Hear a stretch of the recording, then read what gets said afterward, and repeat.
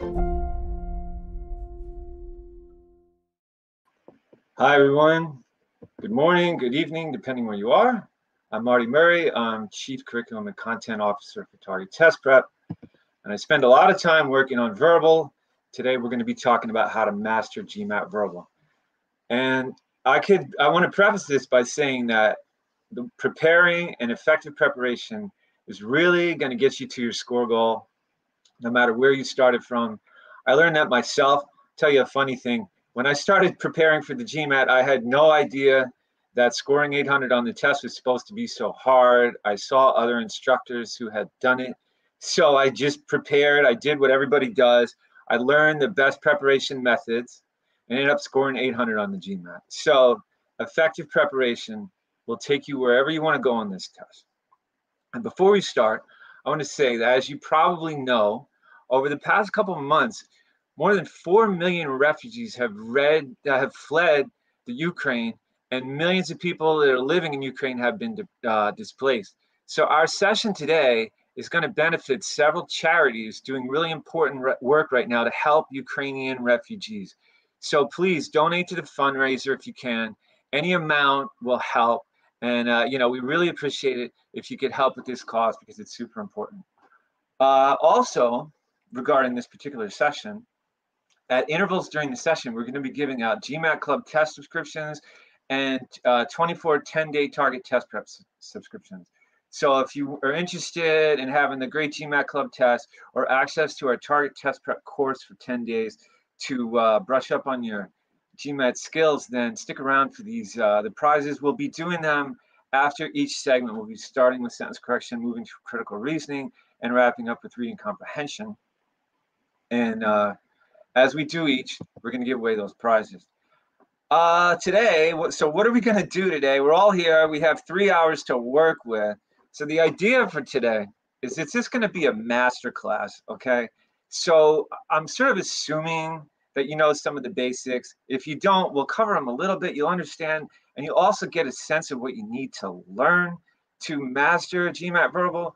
And we're on, on the other, at the same time, we're going to be doing this sort of from an expert perspective. We're going to see how an expert would handle a lot of these questions. We're going to assume that you know some of these, uh, you know, some of these key terms, some of the modifier things, some of the, you know, the concepts for critical reasoning, those type of things. And we're going to hit these, um, we're going to hit these questions and look at them with an expert eye. Look at, you know, really break these things down and analyze them. And I've also picked the questions with the intention of each one has a specific thing we can learn from it. Okay. So something that you might not see somewhere else, you know, something that you almost might uh, disagree with some of the rumors you've heard about GMAT verbal.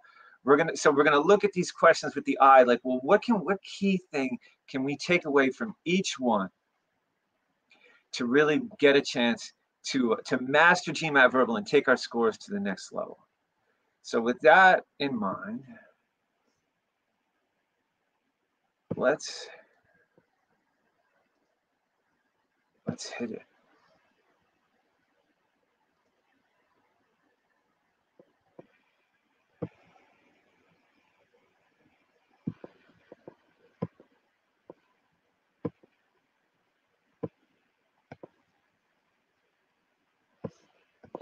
Okay, so we're going to begin by just talking in general as a reminder of what GMAT verbal is. And, you know, you might get the impression that GMAT verbal is a grammar test, or you might be get the impression that GMAT verbal is an English test or a reading test. But when we, if, if we had to call GMAT verbal one thing, we call GMAT verbal a fairly sophisticated logic game, okay? It's a logic game. And it's key to understand that because a lot of the things we hear about how to prepare or, you know, what GMAT verbal is, don't really focus on this idea. And it's easy to get the sense, like I said, that GMAT verbal is maybe a grammar, you know, just if I learn enough grammar rules, I'll get this, I'll, I'll rock a GMAT verbal. Or if I learn a lot of uh, patterns for critical reasoning, uh, you know, I can just, if I know the right patterns, I'll get critical reasoning questions right. Or if I know keywords for RC, I'm going to get all the RC questions right. This is a misconception. GMAT verbal is a logic game. Okay, so what we really have to be prepared to do is use logic to get these questions correct. So when you're preparing, let that color what you do. If you realize that you're preparing for a logic game, then you're going to prepare effectively because you're going to use logic through everything you're doing. You're going to have in mind, am I using logic? Am I learning to use logic? Am I improving my use of logic? Am I getting better at this logic game? And if you pre prepare that way, then you're going to be preparing in a way that's going to get you to your score goal. So let's talk a little bit more about how the moves we can do make for winning this game. Okay, uh, the first move is to learn rules and concepts. True, it is a logic game, but like any game, uh, we need to, this game requires us to learn the rules. If we don't know the rules and we don't know the concepts, it's going to be pretty hard to play the game. That said, the rules and concepts are not the game, right? It's a game, it's a logic game. So it's not a memorization game. Yes, we want to memorize a few rules for the game, but it's not a memorization game. It's, you know, and there's plenty of people that know all the rules that are not hitting their score goal in GMAT verbal. So learning the rules and concepts is super important but it's not the entire. The second thing we want to do is learn strategies.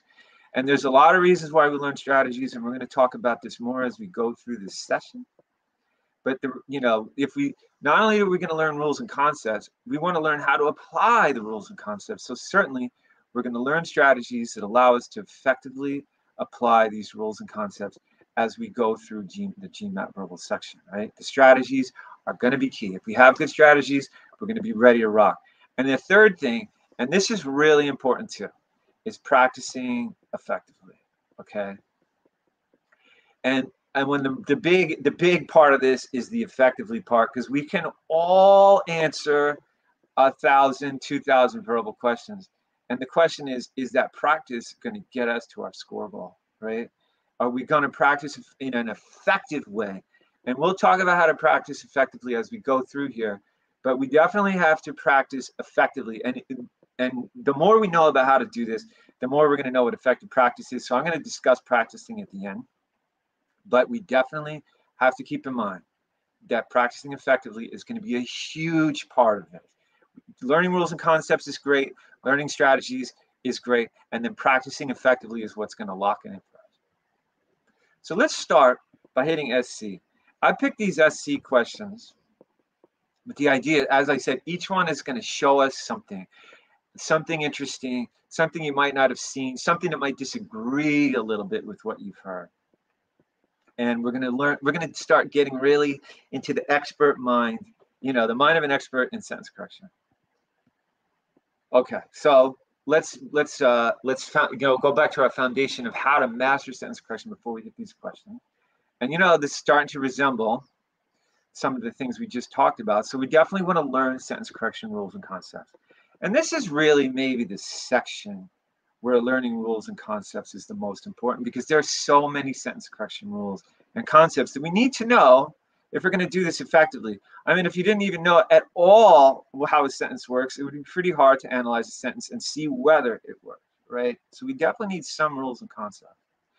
But I'm here to tell you that it's not as hard to remember these rules and concepts as you might think. And the reason is that the rules and concepts are mostly logic based, right?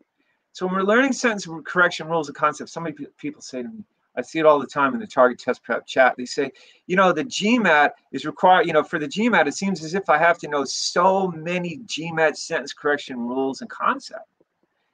And how am I going to remember all these?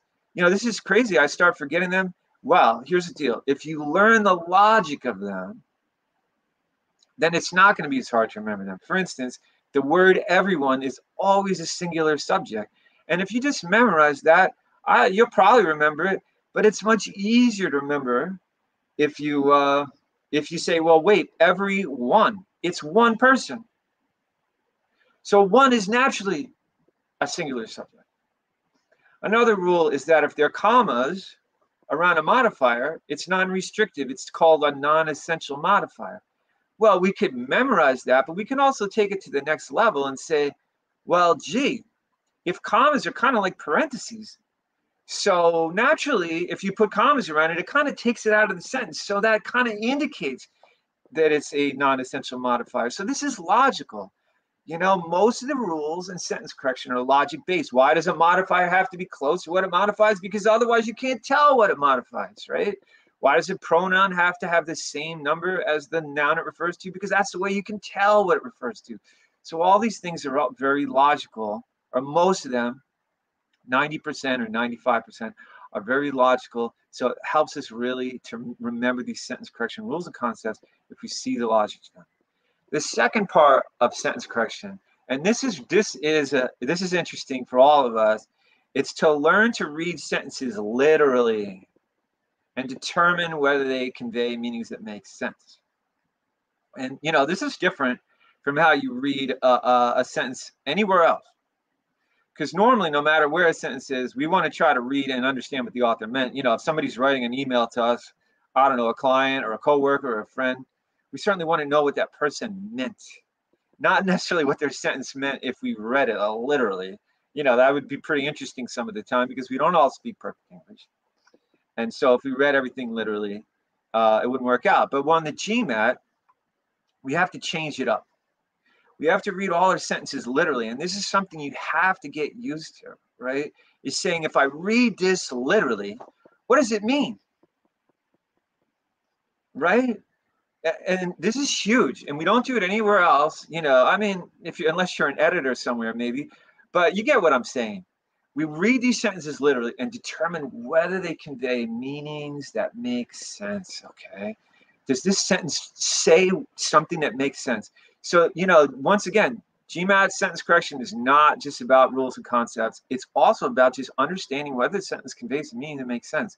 And there's so many ways they don't make sense, and there's so many little tricks. So there's no way to memorize them all.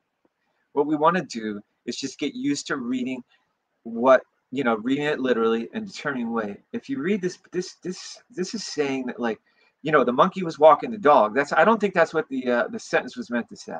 Or this says, I don't know, the dog is wearing a Speedo. If you've seen that in the target test, I don't think that's what this writer meant to say. It doesn't make sense. So finally, to master sentence correction, we practice to develop skill in noticing issues in sentence versions. Okay. So, you know, this is what we're learning to see.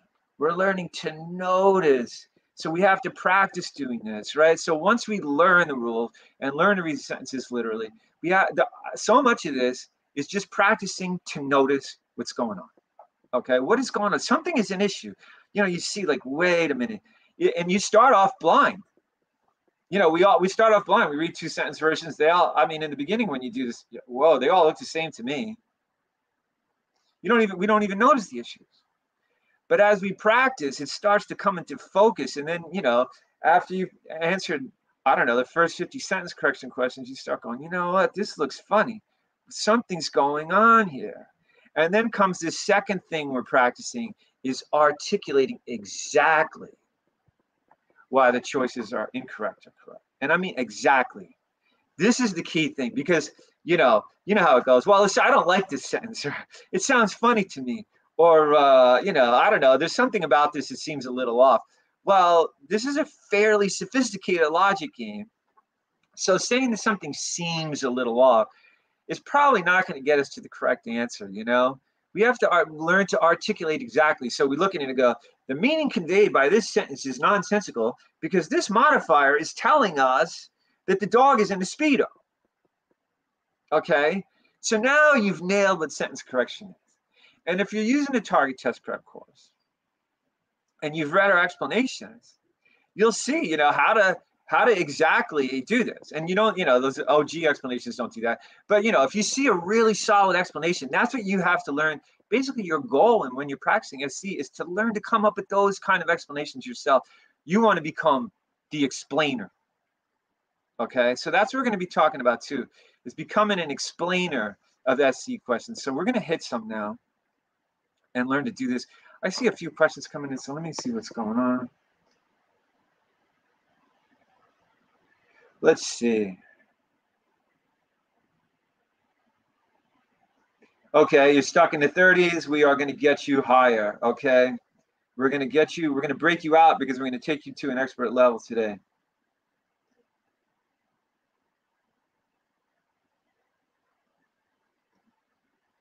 Okay, let's see if there's any other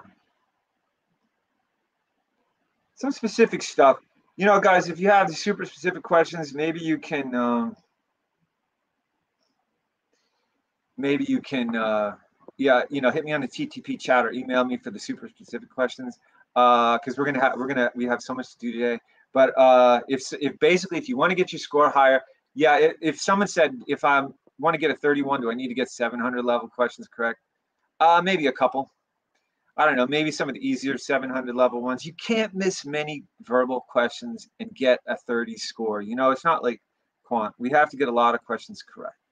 So let's now hit a few questions and start seeing how we can do this at an expert level. And we'll start with this one. If you know this question, I'm warning you, I changed the choices around. so let's give it a couple minutes on this, everybody. Uh, and if you please share your answers in the chat, but do it. In, just give everybody a couple minutes to look at the uh, the question without any bias. So please hold off on sharing your choices until we get a couple minutes.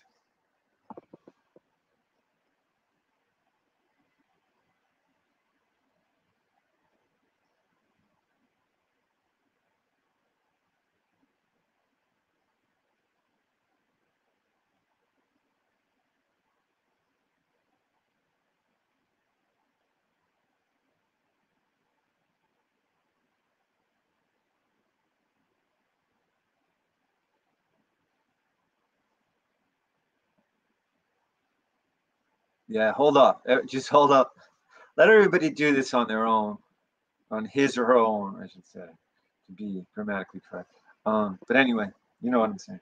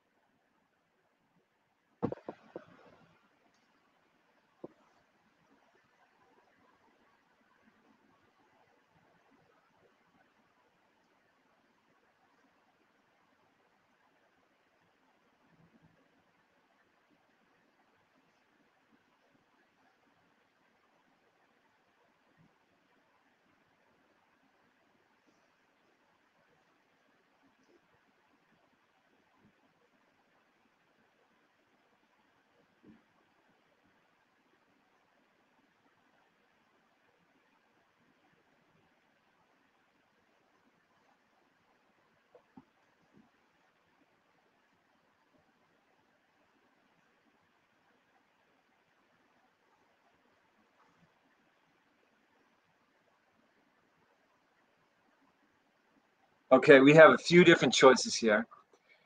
And let's discuss this question. So how are we going to handle this? The first thing we're going to do is read the entire sentence, the original version.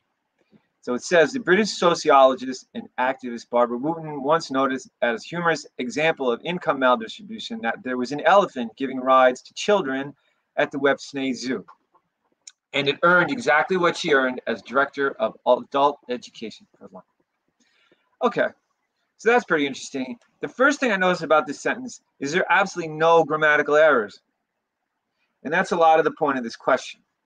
That's why I'm bringing this up because we could learn all the grammar rules in the world and not get this correct.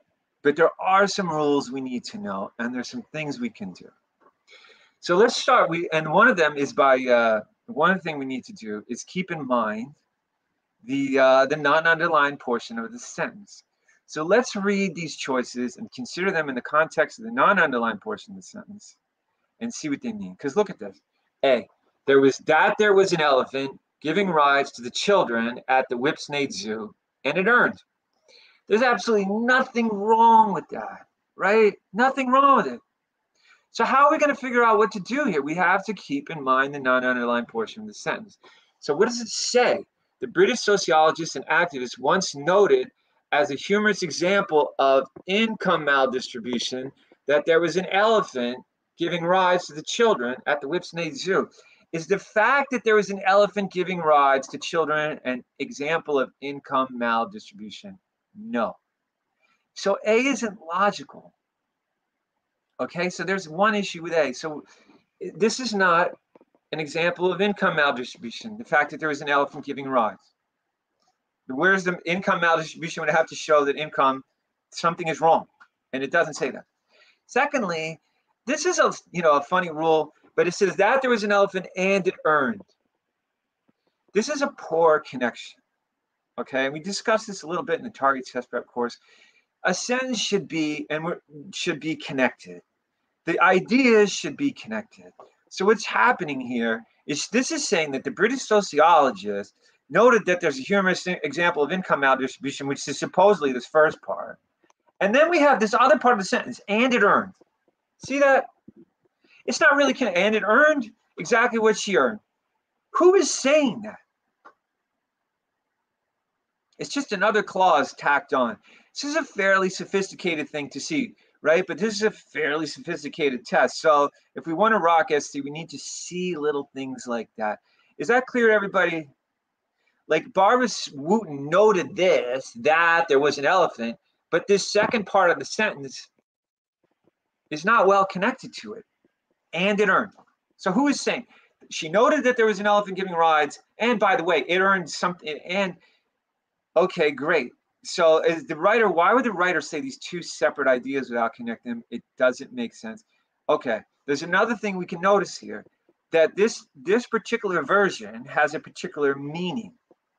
And a lot of people talk about in sentence correction that the original version, the original intended meaning, should show up in the correct answer. But does this does this meaning make sense? No, right? So there's no way this is going to show up in the correct answer. Okay, so A is out, and we're not going to carry the intended meaning.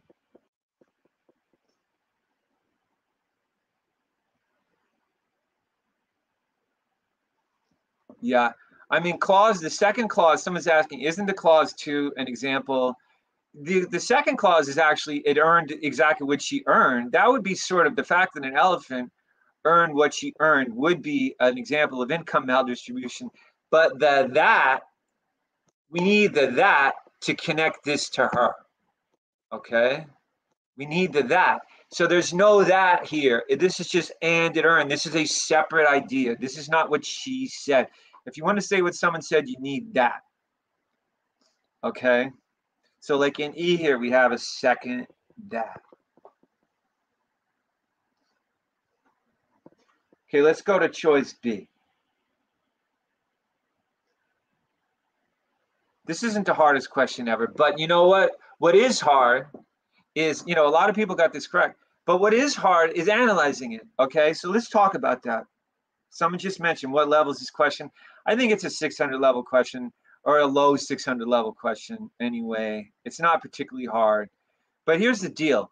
Did how many of you saw that the second clause did not work with the first one, right? If you didn't see that, then you can say, well, this is an easy question. I can get it right. But when you're practicing, you want to go through every single sentence correction choice and understand exactly what do we see, articulate exactly why it's incorrect. So how cool is that? That even though this is a fairly easy question, we can learn so much from it. And that's what you want to do when you're practicing sentence correction, okay? And that's the purpose of this master class is to take things, show you how to take things up a level. So if you're like, well, why am I scoring, you know, I don't know, I can't, my score's not going up because, you know, you, you, how or how can I get my score to go up? You can do it by practicing in this way, by articulating exactly what's going on in every choice. If you get this question correct, but you didn't know that part about the clause, well, you haven't, you're not an expert. Yeah, I can get it right you might, you know, if you get it down to the last two choices and guess, and I get this all the time, you know, people tell me I get down to the last two choices and I kind of guess. Well, if you get down to the last two choices and kind of guess, you're going to get 50% correct theoretically, right? So you're already winning. So the fact that you got a question correct does not mean that you're ready to score high on level. What you want to be able to do is see what we just saw. Let's go to B. Okay, the British sociologist and activist Barbara once noted at a humorous income example of income attribution that the elephant, okay, giving rise to children, had been earning exactly what she earned. Now we do have an example of a humorous example of income maldistribution because B does work with this beginning part of the sentence by saying that the elephant had been earning exactly what she earned. I'm going to keep this one. We're going to get rid of the easy outs first. Okay, let's get rid of the easy outs first. Let's look at C. Uh, uh, Barbara Wootton once noted as a humorous example of income maldistribution that the elephant that gave rise to children at the Whipsnade Zoo was earning exactly what she earned as director of adult education. That makes sense too. Let's keep C. It's not an easy out. D. Uh, Barbara Wootton was noticed at a hum- once noted at a humorous example of income maldistribution, the elephant. Do you see what's going on here? It's nice and concise. The elephant that gave rise to children at the Whipsnade Zoo and was earning it's certainly parallel. The elephant that gave rides and was earning is parallel. It's all perfect, it's grammatically correct. But an elephant is not an example of income maldistribution. So D is an easy out. E, the, uh, she noted the elephant giving rise to children at the Whipsnade Zoo is a humorous example, and that it earned the same thing she was earning. Look what this sentence did.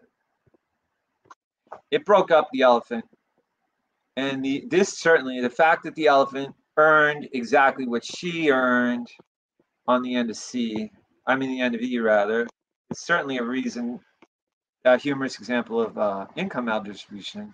But, she, you know, we broke it up. We broke up, she noted the elephant as a humorous example and that it earned. Wasn't she giving one example of one thing? Yes. E is out, all meaning. Notice once again, grammatically perfect. Notice how sophisticated we're being about this, though, right? Like, we're not just saying this choice is parallel, so it's correct, or this is grammatically correct, so it's correct. We're analyzing carefully the meaning and we're articulating exactly why these choices are wrong. So now let's go back to B and C. C says that the elephant, she noted as a humorous uh, example of income maldistribution, that the elephant that gave rise to children, so this is a restricted modifier.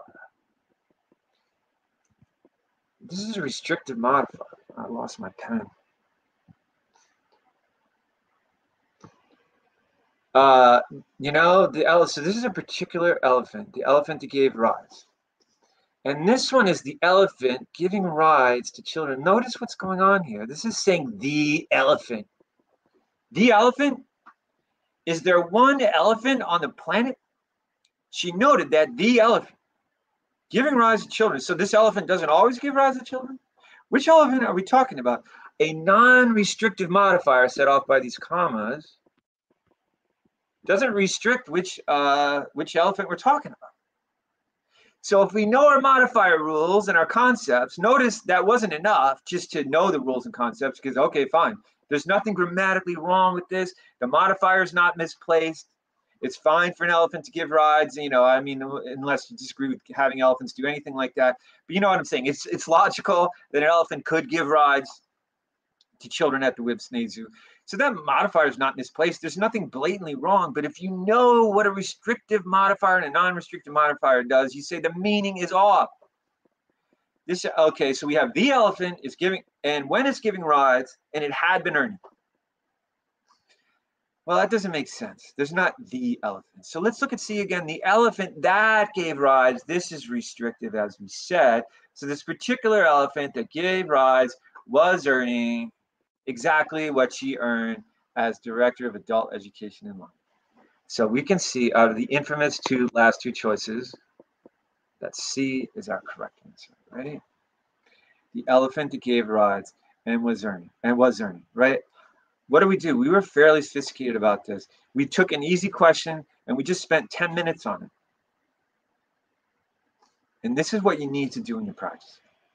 I've seen people that blow through the questions, they get 80% correct in a minute each. And they're like, well, why am I not scoring 45 in row? Because, yeah, you can get 80% correct in a minute each, but you can't get 100% correct. And you're not learning by doing them in a minute each. Okay? So what do you do instead? get 100% correct or 95% correct, get 20 correct in a row, and spend five minutes each or 10 minutes each. Analyze them the way we just did.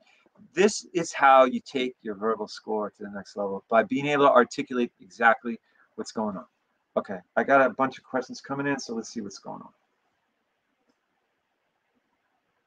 Someone asked if uh, target test, you know, if anybody, any third party can write questions as well as um, as the GMAT. Yes, the answer is yes. The people at the GMAT are people. The people at a third party company are also people. So yeah, people can do what people do. And by the way, uh, at Target Test Prep, you know, people say, well, the, the GMAT spends thousands of dollars on every question. At Target Test Prep, we just wrote a bunch of new sentence correction questions. We had the first person wrote them. They were they were then workshop, re-edited. We put them in the course. We saw the the statistics, edited them again. Another person reviews them. So we have a similar process to what goes on in the uh, for the creation of real GMAT questions, and that's why our questions are pretty tight. Uh, let's see what else is going on. Does Target Test Prep categorize the questions? Yes, we do. We categorize them by difficulty and even by type, by uh, by error type.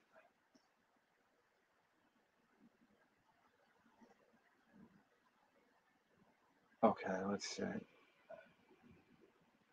We appreciate all the donations, peeps. Okay. Someone asked me, I mean, had been earning does sort of works, but sort of doesn't work. She noted that the elephant giving rise at the, zoo, I mean, had been earning. I, it's not insanely incorrect.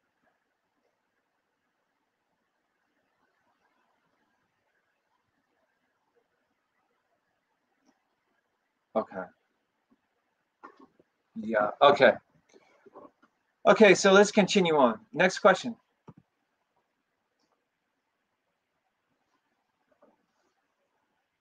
Remember to hold off with your uh,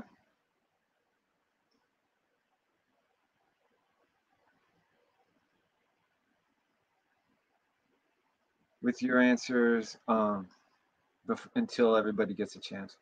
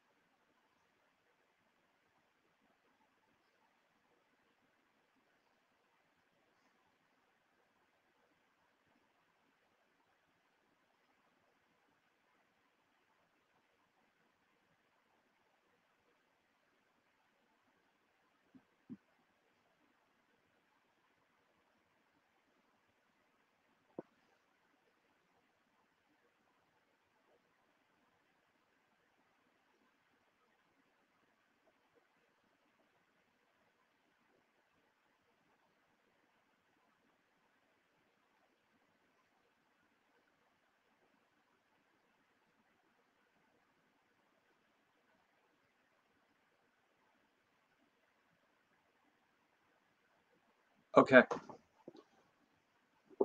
Let's go through this one. It's a tricky question. It's a 700 level question. So if you thought it was a 500 level question, you probably got it incorrect. But before we do that, I want to just wrap up one thing that a couple people asked about uh, in the past one.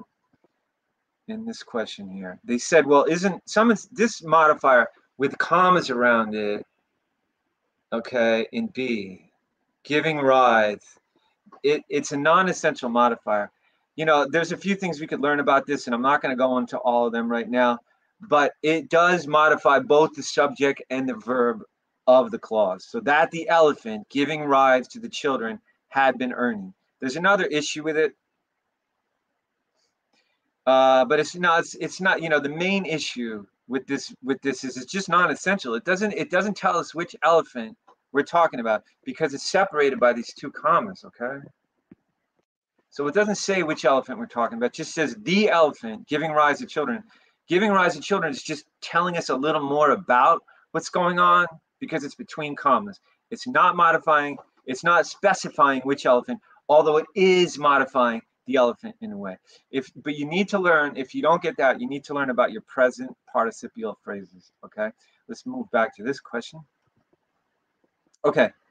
Number one step, read the original version. Over 75% of the energy produced in France derives from nuclear power, while in Germany it is just over 33%. Okay. This one might be one of our easy outs. I see a pronoun in it, and it's the pronoun it. And I have, eh, you know, don't you get the vibe? I bet you all did that it. What it? What does it logically refer to? Okay. Now here's the thing about it. We're going to take this to a sophisticated level. A pronoun like it refers to an entire noun phrase. Okay. There's some other kinds of pronouns that don't do that. Those and that do not do that. They can refer to just a piece of the phrase. So, for instance, those could refer to energy. Okay. But it refers to the entire preceding idea in it. Okay. Okay. So it has to refer to something that a noun, the whole idea of a noun. So, for instance, this would refer to 75% of the energy produced in France, that it could refer to that. Or it could refer to nuclear power. Those are two possible nouns that it can refer to. But notice it doesn't just refer to energy. So this it refers to this whole thing. And if we know this, okay, then we can see that this it doesn't make sense at all because it doesn't make sense to say while in Germany 75% of the energy produced in France is just over 33%. It doesn't make sense. If we if we replace the it with this, we get insanity, right? Or if even if we replace it with nuclear power, while in Germany nuclear power is just over 33% of what? Like what is that? You know, it's just not a well, it's not an effective sentence and this it kills it for us. This is an easy out. Getting rid of our easy out. Okay, B, I bet it's going to be an easy out too if we know our comparison rules. Over 75% of the energy produced in France derives from nuclear power compared to Germany. You know, I don't know. So the energy, which uses just over 33%, this is comparing 75% of the energy produced in France with Germany. It's an easy out. Not that many people picked it. If you know your comparison rules, you're going to get this. You're going to get rid of A, uh, B. And if you know your uh, pronoun rules, you get rid of A. So notice we're taking a concept and applying it. Reduce, uh, you know, okay, let's move on. C, whereas nuclear, over 75% of the energy produced in France derives from nuclear power, whereas nuclear power accounts for just over 33% of the energy produced in Germany.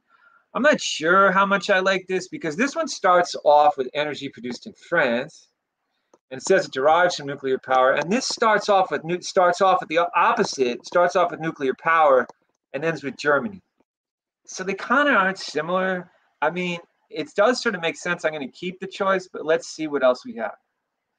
Uh, D. Whereas just over 75% of the energy produced in France derives nuclear power, well, whereas just over 33% of the energy, whereas just over 33% of the energy comes from nuclear power in Germany. You know, this sounds, we have 75% and 33% and nuclear power and nuclear power, right? So this matches up. The two clauses match up. So, uh, you know, that sounds pretty good too. It's not an easy out. This is how we do it. We get rid of the easy outs. We keep the, the infamous last two choices. Okay, uh, let's check E. Over 75% of the energy produced in France derives from nuclear power. Compare with the energy from nuclear power in Germany, where it is just over 33%. We got an it again. What did we learn? The it refers to the entire thing with the nuclear power in Germany. So the energy from nuclear power in Germany.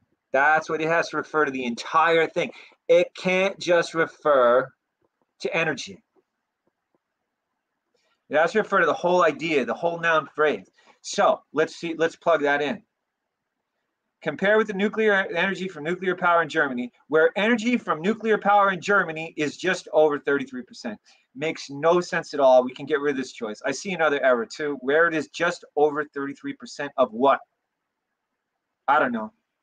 Right? Over just over 33% of what? Who on earth knows? It doesn't, it's totally meaningless. So we're down.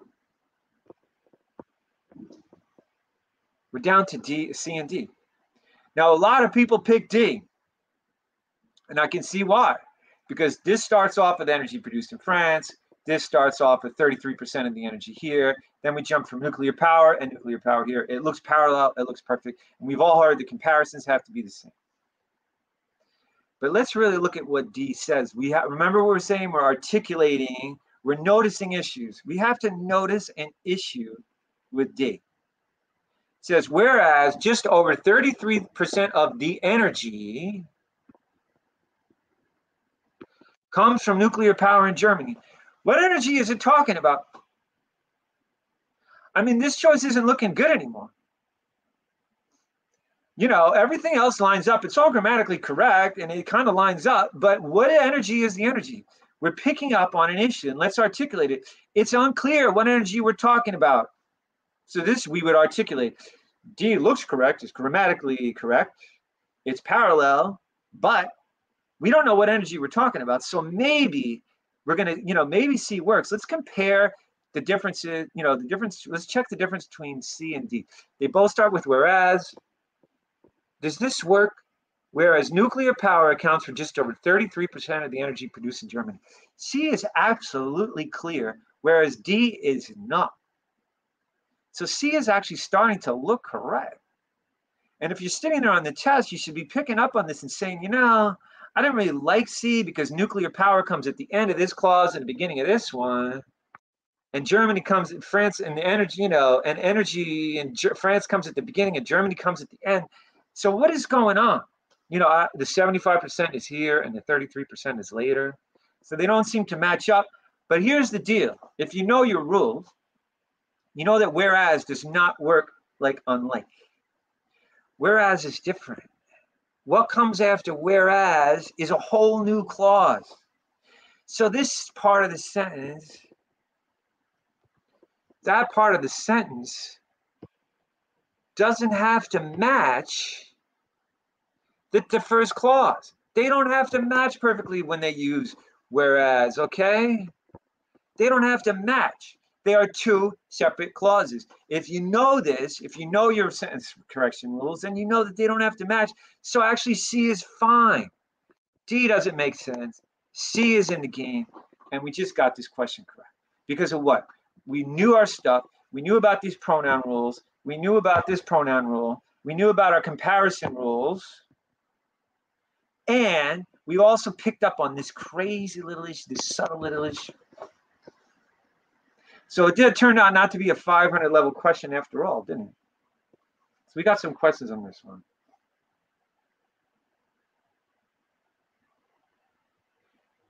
Yeah, okay, so the uh,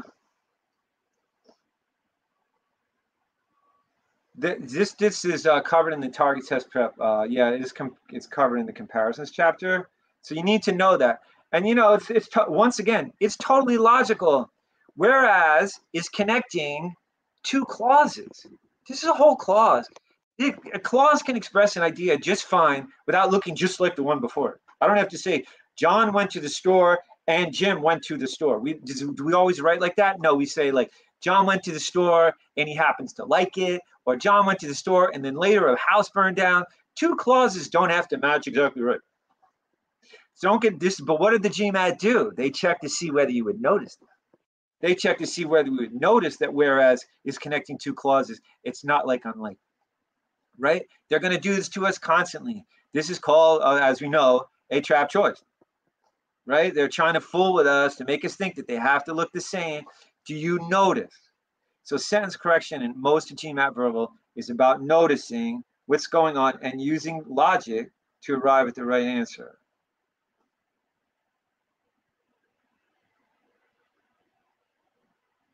Yeah, D is a nice trap. It looks so nice and parallel.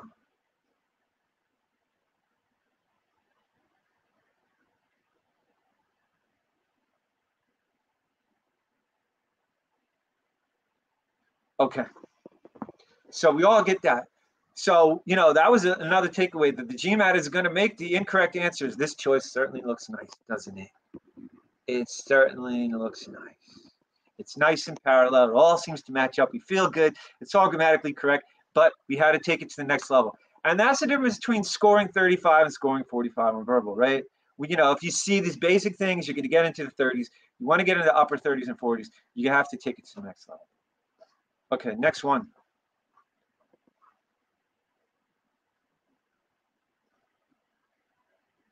Okay, fine. We'll go back one last time. D is not correct because it says over 75% of the energy produced in France derives from nuclear power, whereas just over 33% of the energy, what energy, what energy is that? What is energy is this? The energy. 33% of the energy comes from nuclear power in Germany. So is that the energy in France? It sounds like it, but 75 and 33 adds up to over 100 or it's maybe the energy in the planet. I don't really know. What energy is that? It's a subtle issue, but we're looking for effective sentences. And if someone wrote that sentences in a, in a book, you read it, be like, well, what does he mean? It can't be like that. We're looking for effective sentences, and it's not an effective sentence.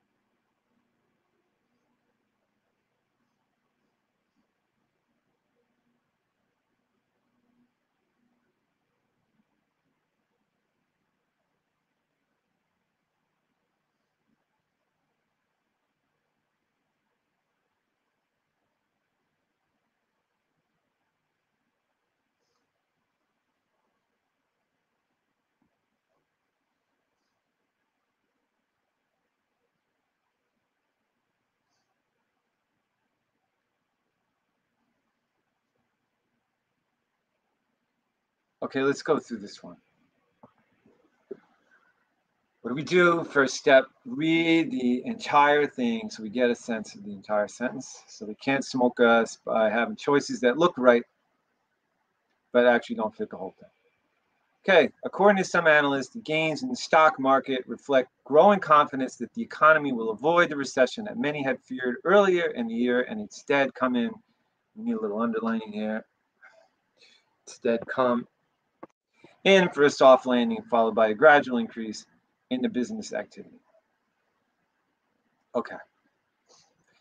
So it's a basic sentence, and and the key thing, according this according to some analysts, we can kind of ignore this and say the gains in the stock market reflect growing confidence that the economy will avoid the recession that many had feared. It looks pretty good. The recession that many had feared earlier, so we're going to keep that. Let's go to B. Growing confidence in the economy to avoid the recession, what many had feared early in the year, rather to come. That is starting to look like a mess, but there's a reason why I brought this question up. And I'm bringing it up because it does something that we need to, it's a cool thing that GMAT does. I call it right idiom, wrong place. Notice what they did here. Growing confidence in the economy. Certainly, we've all heard this idiomatic structure, growing confidence in X. So a lot of people choose this choice because they say, well, it totally makes sense. Growing confidence in the economy. But the problem is this idiom is the wrong place. We don't say growing econ- confidence in the economy to do something. We, if we're going to say that some, the growing of confidence that the economy will do something, we say it the way A says it. Okay, so the reason I brought this question up is to show us about this thing called right idiom, wrong place. So yeah, we can all learn our idioms. We can learn our rules. We can learn our structures, but we have to learn how to apply them. And the key thing here is we it doesn't make sense to say growing a confidence in the economy to avoid the recession. This is not how we use growing a confident growing confidence in X. We don't do that. Also, this is a little awkward. What many had feared uh, to avoid the recession, what many had feared. I mean, I guess it's sort of okay. And this rather to come is really insane. Uh, when we see something rather X rather than Y, we have so we could t- get rid of this that's one technique we can use is get rid of a modifier and see what it says around it. Growing uh, confidence in the economy to avoid the recession rather to come in for a soft landing. That's completely bonkers. Choice B is gone. Don't say to avoid, rather to come. You know, we might say to avoid, but rather to come, to avoid, and rather to come, but we don't say to avoid, rather to come. Okay, C. Growing confidence in the uh, economy's ability to avoid recession. Now, we have growing confidence in the economy's something. In the economy's something, right? If I ever learn why it does that, that'd be great. Uh, in the economy's ability, so we can have confidence in something that perfect. So now we're using the right idiom in the right place to avoid the recession. Something earlier in the year many had feared. Look what they did here. They're saying something earlier in the year many had feared, but we're talking so something. Look at this modifier. Earlier in the year, something earlier in the year. So they feared it because it was something earlier in the year. It doesn't make sense because we're talking about growing confidence in something that'll happen in the future. So this was not earlier in the year. Is this an obvious misplaced modifier? No. Is it a meaning issue if we read it literally? Yes. So let's do this again. Growing confidence in the economy's ability to avoid the recession many had feared and instead to come in for a soft landing. So we're talking about something in the future, not something earlier in the year. We have to pick read the sentence holistically. Right? We're reading the sentence holistically, saying this is about the future. So this is recession is not something earlier in the year. It's something many had feared that would happen, or, you know, and it would happen in the future. But by the way, the earlier in the year, we does come near uh, many had feared. But is this sentence effective? No, right? We're looking for an effective sentence. So we just articulated why this is wrong. It's not something earlier. And you know what? We could say, well, maybe early in the year applies to many had feared because it's close to it. I don't know. Doesn't it read something earlier in the year? Yes, absolutely. Okay, it doesn't say many had feared earlier in the year. If we had that modifier over here, it would work fine. But that's not where it is. It's right here modifying something, and something refers to recession. So it's something, it's saying the recession is earlier in the year. Clearly, it's in the future. C, for that subtle reason, is out. Next, D, growing confidence in the economy to avoid the recession. Look what we have here again. We have this growing confidence in X misused, right? Once again, right idiom, wrong place. We can say growing confidence in the economy. We can't say growing uh, confidence in the economy to avoid. We would have to say growing confidence that the economy will avoid. Right idiom, wrong place. If you know about that, it saves you a lot of trouble because you won't go through and just say, oh, it's idiomatically correct. Yeah, it's correct to say confidence in X, but it's not correct to say confidence in X to avoid. That's not the way we use it. We say, you know, we use it like the way it's used in C. Okay, we have one last choice. Growing confidence that the economy will avoid the recession that was feared earlier in this year by many, with it instead coming. Okay, look what, you know, man, we had to read this choice the whole way to the end because we see this with it instead coming. And on the GMAT, when you see with, something should actually sort of be with something. You know, there's either two ways something can be with something. You either use it, I hit the nail with the hammer, or you could say, or there are a few ways. One of them is to say, I did it with this. Another one is to say, John is actually with Sue, or, you know, Steve is with Elvira, or whatever it is. But we don't use it this way that the economy will avoid the recession that was feared with it instead coming. The economy is going to avoid the recession with something you know, it's not just not well expressed. And you know, is it awful? Is it insane? No. But let's compare. Now we have two choices. We got we're down to the infamous last two choices. Growing confidence that the economy will revo- avoid the recession many had feared early in the year. Look here, the fear early in the year is right by fear, and instead come in perfect. Why would we choose anything else? Growing confidence, the economy that was feared earlier this year by many. That's a little funny, but fine. It has the passive voice. Look at that. Uh, that's okay though. It's okay. But the width kills this thing. This is just not as good as what we're seeing today. I don't really know what the economy will avoid with it instead. So the economy will avoid with it instead. What does that mean? How does the economy avoid a recession with something? Doesn't make sense. It's not quite logical. It's just a little off. A works better. That's the way we get rid of the infamous Last two choices. We're down to A. A is correct.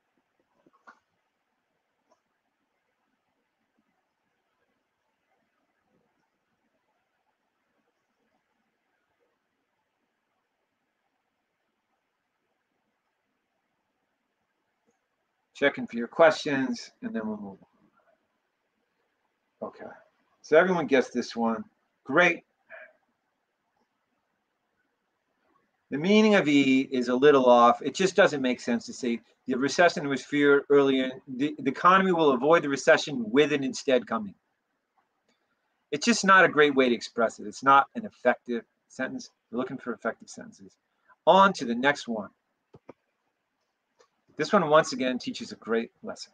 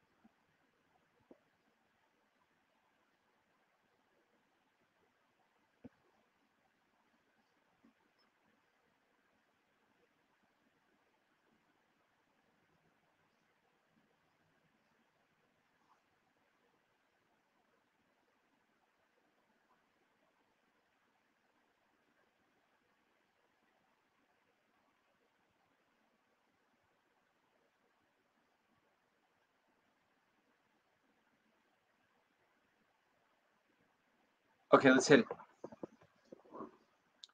Start by reading the entire sentence to get a holistic feel for it. Although Napoleon's army entered Russia with far more supplies than they had in their previous campaigns, it had provisions for only 24 days. Okay. Although Napoleon's army entered Russia with far more supplies than they had, I'm a little questioning, and this is, we're going to blow through this question. But if I were, if you're looking at this on the test and you were a little stumped, you might say, you know what, far more supplies than they had seems to work with army pretty well. You know, I mean, could army be plural? Maybe. You know, I don't know. Sometimes those collective nouns, it seems okay. So I'm going to move on to the next choice. Although Napoleon's army entered Russia with far more supplies than their previous campaigns had had, you know, it's a little, I don't like that one as much, but I don't know. Why couldn't this, they have more supplies than their previous campaigns had? I don't like it as maybe as much as A. Don't see a clear reason to eliminate it. C. Although Napoleon's army entered Russia with far more supplies than they had for any previous campaign. I don't like that for, to be honest. They had for any for any previous campaign, but it's not the worst thing. So what am I getting? You know, okay. How about D?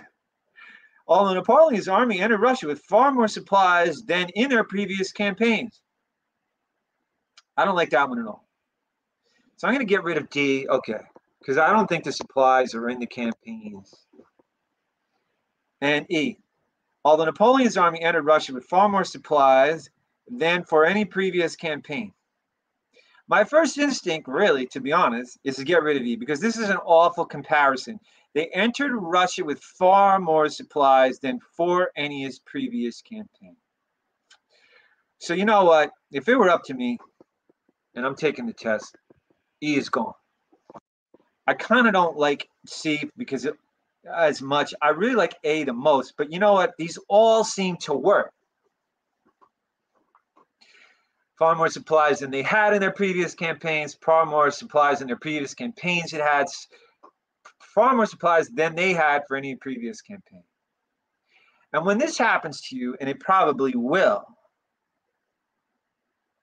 one of the things you have to do is go, did I really read the non-underlined portion of the sentence. And if you notice, I didn't. I only read the beginning of the non-underlined portion. But I didn't read the end. And this happens to me all the time. So one of the big lessons with this is when you see three, two, three choices that all look good, you might not have read the underlined, non-underlined portion of the sentence. And as soon as I read the non-underlined portion of the sentence, I see, what do you see? And I think a lot of you did see this. It says it. It had provisions for only 24 days. Well, we suddenly have a big clue here that the army, it must refer to the army. Well, by the way, you can't have the army be singular and plural at the same time. Either we're using this as a group noun and you're saying it's they, or we're using that as a singular noun and saying it's it, but it can't be both. You know what just happened? A is gone, B is gone, C is gone, D is gone. Well, we eliminated E because it's an awful comparison. They entered Russia with far more supplies than for any previous campaign. I don't know, man. Is that a really good comparison? Would we ever write it like that? Do you expect it to be that way? Wouldn't we see far more supplies than they had far more supplies than they entered with, something like that. Far more supplies than for any previous campaign. What for what? Where's that? Where does that connect to? Entered for, you know, there's no real great way to do this. But by the way, we're looking for the best choice, not for a perfect choice. So even though we checked off and said E doesn't work, we have to change our mind lesson number three about this question is that sometimes the choice we're so confident is wrong is going to turn out to be the correct answer. And honestly, there's just no way any of these puppies up here are correct. They, they, there, they, there will not go with it. Right? There's no chance. They're all gone. The only possible one is the one we all probably wanted to eliminate because it's a bizarre comparison. E is correct. Is it perfect? Is the way we would write the sentence? No. Is it the best? Yes. So the biggest lesson with this question, well, there are two huge ones. If you're choosing, if you see three choices or two choices or a bunch of choices that look correct, go back and make sure you read the non-underlined portion. It's going to serve you so well.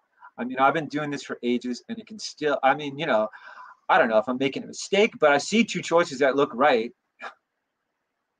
and I go, aha, let me check the non-underlined portion of the sentence. And that will take me out of that, that dilemma so often. So you're like, well, maybe I have to guess between these two. They don't, you know, oh man, these all look the same. I hate this question. Check the non-underlined portion. And the second lesson is be, or the second lesson is be ready to reselect a choice that you already eliminated, like this one here. Be ready to select. And this goes for critical reasoning, reading comprehension, and sentence correction. Okay. That you often will eliminate a choice. Keep it in your back pocket. Keep your eliminated choices in the back pocket because you may need to de-eliminate them. And then finally, the final the final lesson here is the correct answer to a sentence correction question is not always perfect. So don't be quickly eliminating choices because they have a little, oh, I don't like this comma here. You know what I mean? And say, well, that's gone. It's gone. And then you're choosing between the last four choices. It may not be a perfect choice. So we have to be ready to handle imperfection. So if it has a little imperfection, eliminate it last. And also be open to the idea that the correct answer could be pretty messed up like this one. What is that? You know? But by the way, by the way, I'm not saying that this question is unanswerable because the other choices are so clear. These have fatal errors. This these plural pronouns are fatal errors. These are gone. There's no way we can choose these choices. So even though the correct is so-called correct answer is a little freaky and not the best thing, we can eliminate four and definitely get this right. Okay, so it's not is it subjective? Not really. There was a correct answer that we can all see. Okay, we're going to take a break for a minute.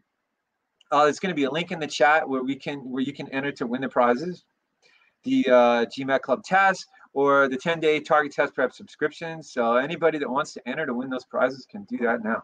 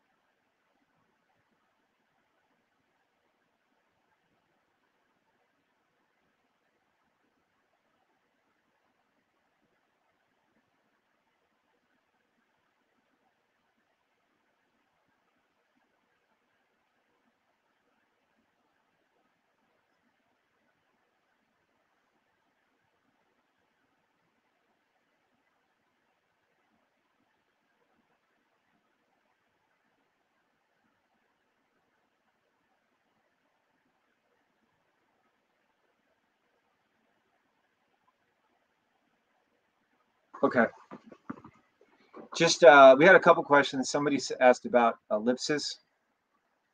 There's not a great ellipsis here. Uh, you know, I don't know. Although Napoleon's army entered Russia with far more supplies than for any previous campaign, I mean, far more supplies than, I guess maybe we could say there's some kind of ellipsis with supplies than supplies for any.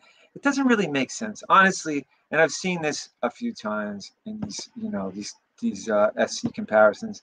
You know, we all learn all these great comparison rules and how to should be logical and how to use ellipses, and then they pull this. You know, man, it's just what are you going to do? You just got to get. You have to get it right, and they're going to do that a little bit. Uh, the questions aren't always the, the correct answer is not always perfect. Okay, let's move on to critical reasoning. Now that we've blasted sentence correction, we're going to do something similar with critical reasoning. We're going to learn, uh, we're going to see some cool things and some questions. We're going to take critical reasoning to the next level. We're going to take it to the V40 levels. Uh, someone was asking if you're using a target test prep course, when should you start doing time practice? Uh, if you're working, and the answer is if you're working this way, you know, go for the high accuracy and try to work the time, start trying to work the time down. Don't necessarily cut yourself off at a, minute 48 per question on average or two minutes per question. Start working the time down. Can you get it down to two and a half minutes per question? Can you get it down to two minutes per question? Just try to work the time down. Then nearer to your test, you know, when you start taking practice tests, you could do the literal time practice, but your first step is really just to practice driving the time down. And by the way, if you're doing this analysis and you're doing this on time practice, you're going to get fast anyway.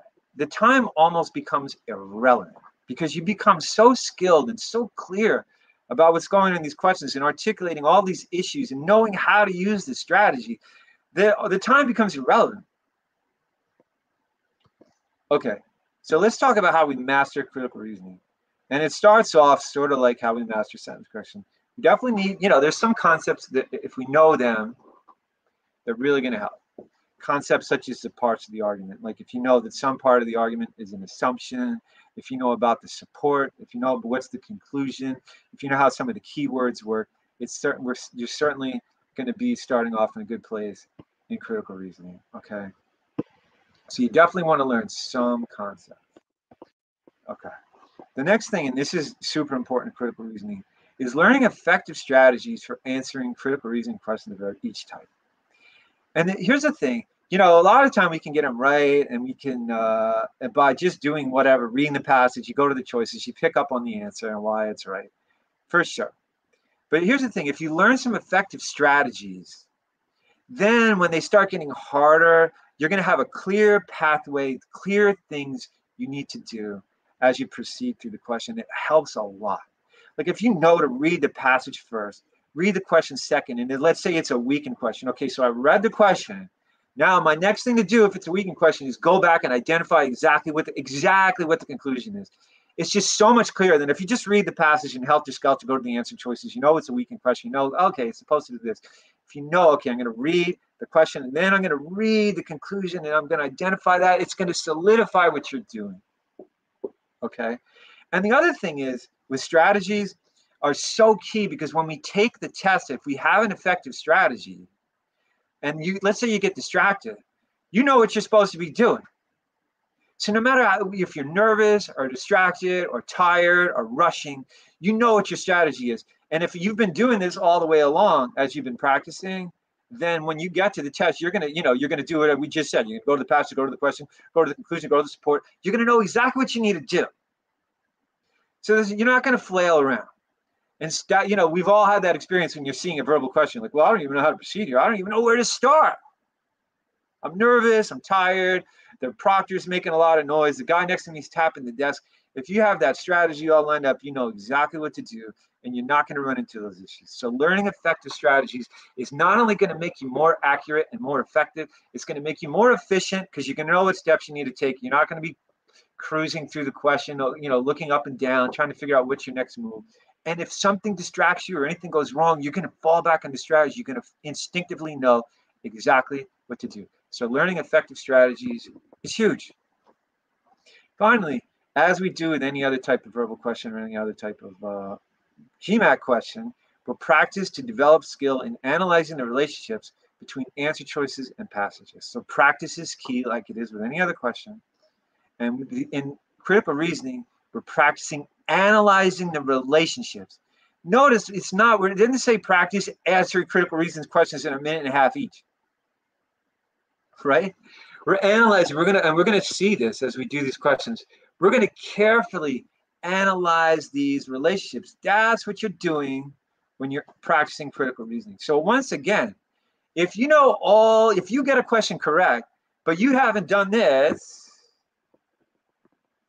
then you're not really practicing critical reasoning effectively. You, you know, yeah, you vibed your way, you got you, you know, you sort of figured out why ch- choice C is correct, but you didn't analyze the relationships between the choices.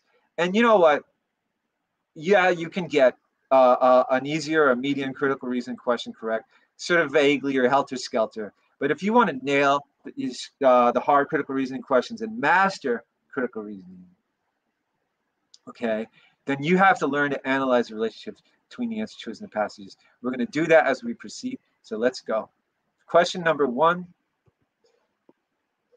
Remember to uh, wait for people in case you've seen this question before. Don't put your choice in too soon. Give everybody a minute or two to get through this, please.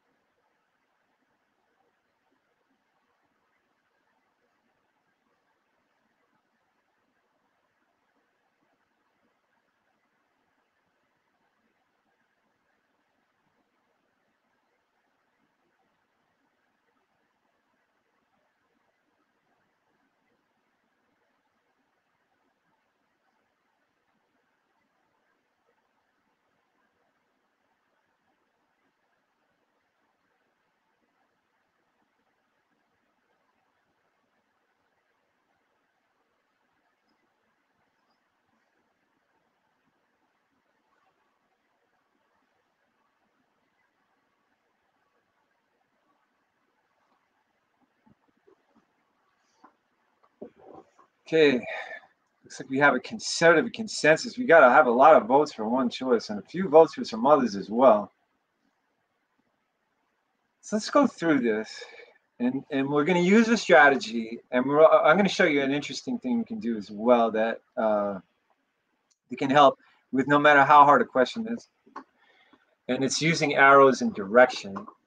So this question, we'll read the passage first. I always say to read the passage first. I know a lot of people like to read the question first. More power to you, but uh, I personally, uh, you know, if that works for you, that's fine too. But I read the passage first just because if I read the question first, I'm thinking about the question as I read the passage. And I personally want to pick up on all the details, these little things in the passage. And if I read the question first, then I'm sort of thinking, well, what's the support like if it says, like this question says, cast the most doubt on the effectiveness. Well, now I know it's a weakened question, so I'm going to be looking, what's the support? What's the conclusion? If I just read the passage on its own without doing that first, then I'm going to probably pick up on little details like this. Since the deregulation, delays have increased by 25% at the in increasingly busy airports. Isn't that interesting? All these little details have increased by 25%. To combat this problem, more of the takeoff and landing slots at the busiest airports must be allocated to commercial airlines.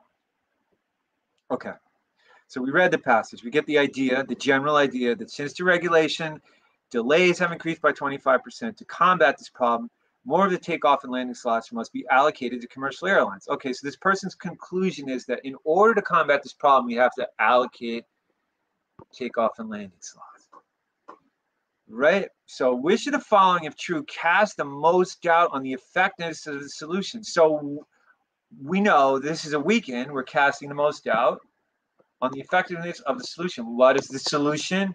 Now we go back to the passage and make sure we totally get it. The solution is more takeoff and landing slots must be allocated. What's the support? The, the airports are busier and delays have increased by 25%. Okay, notice, does this person say therefore? Does he use does he use keywords? No. Okay, but we can tell what the basic conclusion is and why this person thinks this is true because the airports are increasingly busy. Now let's go through these choices. And here's the key thing: we're gonna we're going to uh, we're gonna analyze the relationships between the choice and passage. In order to do that, we really want to consider direction. So this person is saying what has happened Delays have increased. So we're going to put a direction on that. Delays increase. So now what should we do? We should allocate more takeoff and landing slots. So we're going to increase takeoff and landing slots. And we can do this all with arrows. How cool is this? Then the delays are going to decrease. That lays out this passage so well. Did we need to take a thousand notes? No, but we just saw delays have increased, we can uh, increase takeoff and landing slots and therefore delays will decrease. That's this person's idea. So let's look at A. At E. Since deregulation, the average length of the delay at the biz nation's busiest airports has doubled. Average length has doubled. So what kind of arrow? This gives us an up arrow, right? Delays have increased. You notice what this what is the relationship between this choice and the passage? And we can easily there's a million ways that uh, you know they could say I don't know it's irrelevant or something, but let's define the relationship because if we define the relationship, then we're going to be sure of whether we should uh, uh, eliminate it. You know, and especially in a harder question, we really need to define that relationship. So this is saying the delays has doubled. So here's what they were, and now they're up twice. Okay, great. This just qualified our up arrow for delays, didn't it? It's it's the relationship between this choice and the passage is it qualifies the passage. Does qualifying the passage cast doubt on the effectiveness of the solution? No. Okay. Let's go to D. After a small Midwestern airport doubled its allocation of takeoff and landing slots, the number of delays decreased. So this is saying allocation went up, decrease went, oh boy, nice. Sorry, it's saying allocation went up and delays went down. Well, that's exactly what we want to happen. Does that decrease our, uh, Does that weaken our argument? No, it's saying that something exactly what we want to have happen did happen. So clearly, this goes in the wrong direction. This strengthens the argument. That's the relationship. Is it irrelevant? No. Right? It's totally not irrelevant. Even though someone can say, well, this is a small Midwestern airport. Okay, it's a little, it's a little, it's a little off target because a small Midwestern airport is not our uh, our target here. We're talking about in nations increasingly busy airports. You know, I don't know, but this is a small Midwestern airport. You can say maybe it doesn't apply, but honestly, if it does anything, it strengthens the argument. So that's the relationship. Notice what we're doing. We're not just going through irrelevant, ir, uh, relevant, or word matching, or this is this talks about the same thing as the passage. We're actually defining the relationship between the choice and the passage. Okay, C. Over 60% of the takeoff and landing slots at the nation's busiest airports are reserved for commercial airlines. Well, this definitely has a relationship with the passage. This tells us how many slots we can do if we allocate more of the takeoff and landing slots. And what it really tells us is that 40% are left. Because if 60% are used, there's 40% left. That's a lot. So that, if anything, I would think this kind of strengthens the argument, if anything, because it tells us there are a lot of takeoff and landing slots. So if we allocate more, we can allocate a lot more. I don't know. Does it really? Anyway, it certainly doesn't weaken the argument that 40% of the slots are left. And that's what we need to do is weaken the argument. So this. How about B? Since airline deregulation began, the number of airplanes in operation has increased by 25%. What's the relationship between this choice and the passage? Anybody have a uh, idea what, what the relationship between B and the passage is?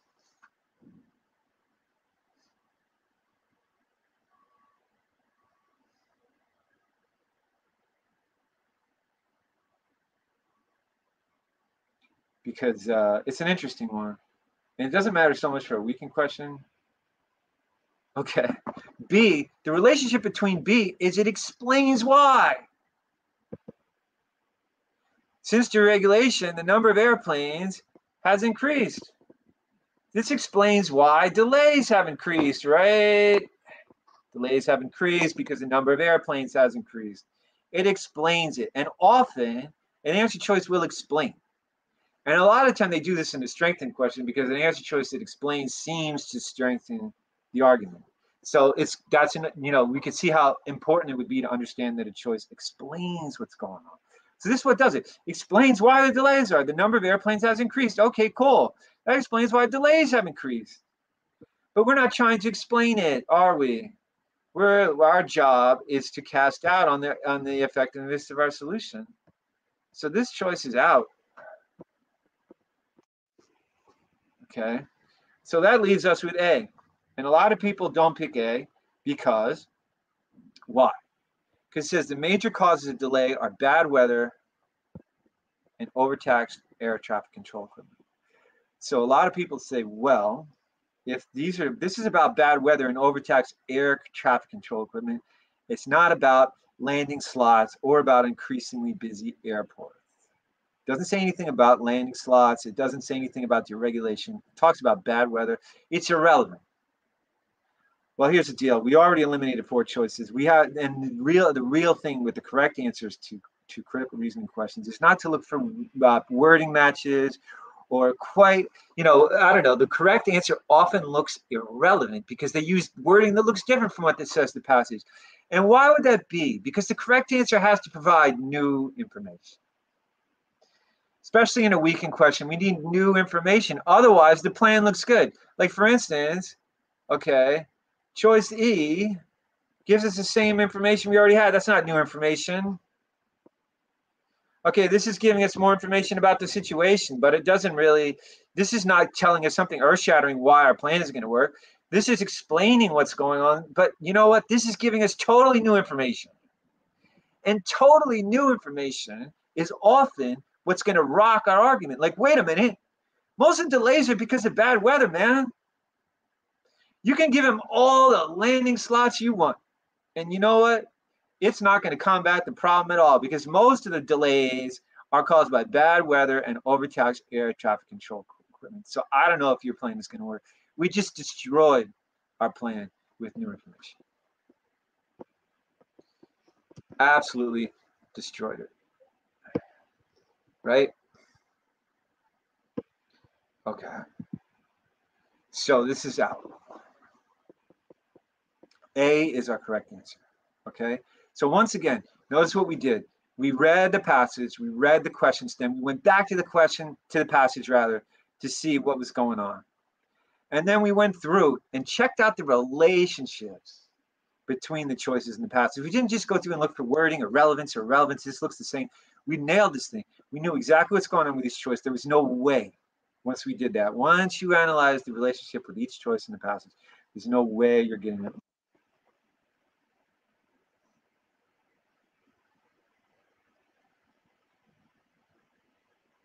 So correct answer is indeed A.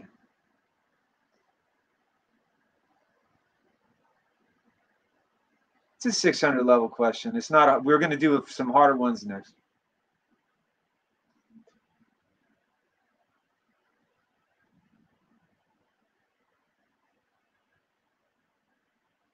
Okay, let's move on.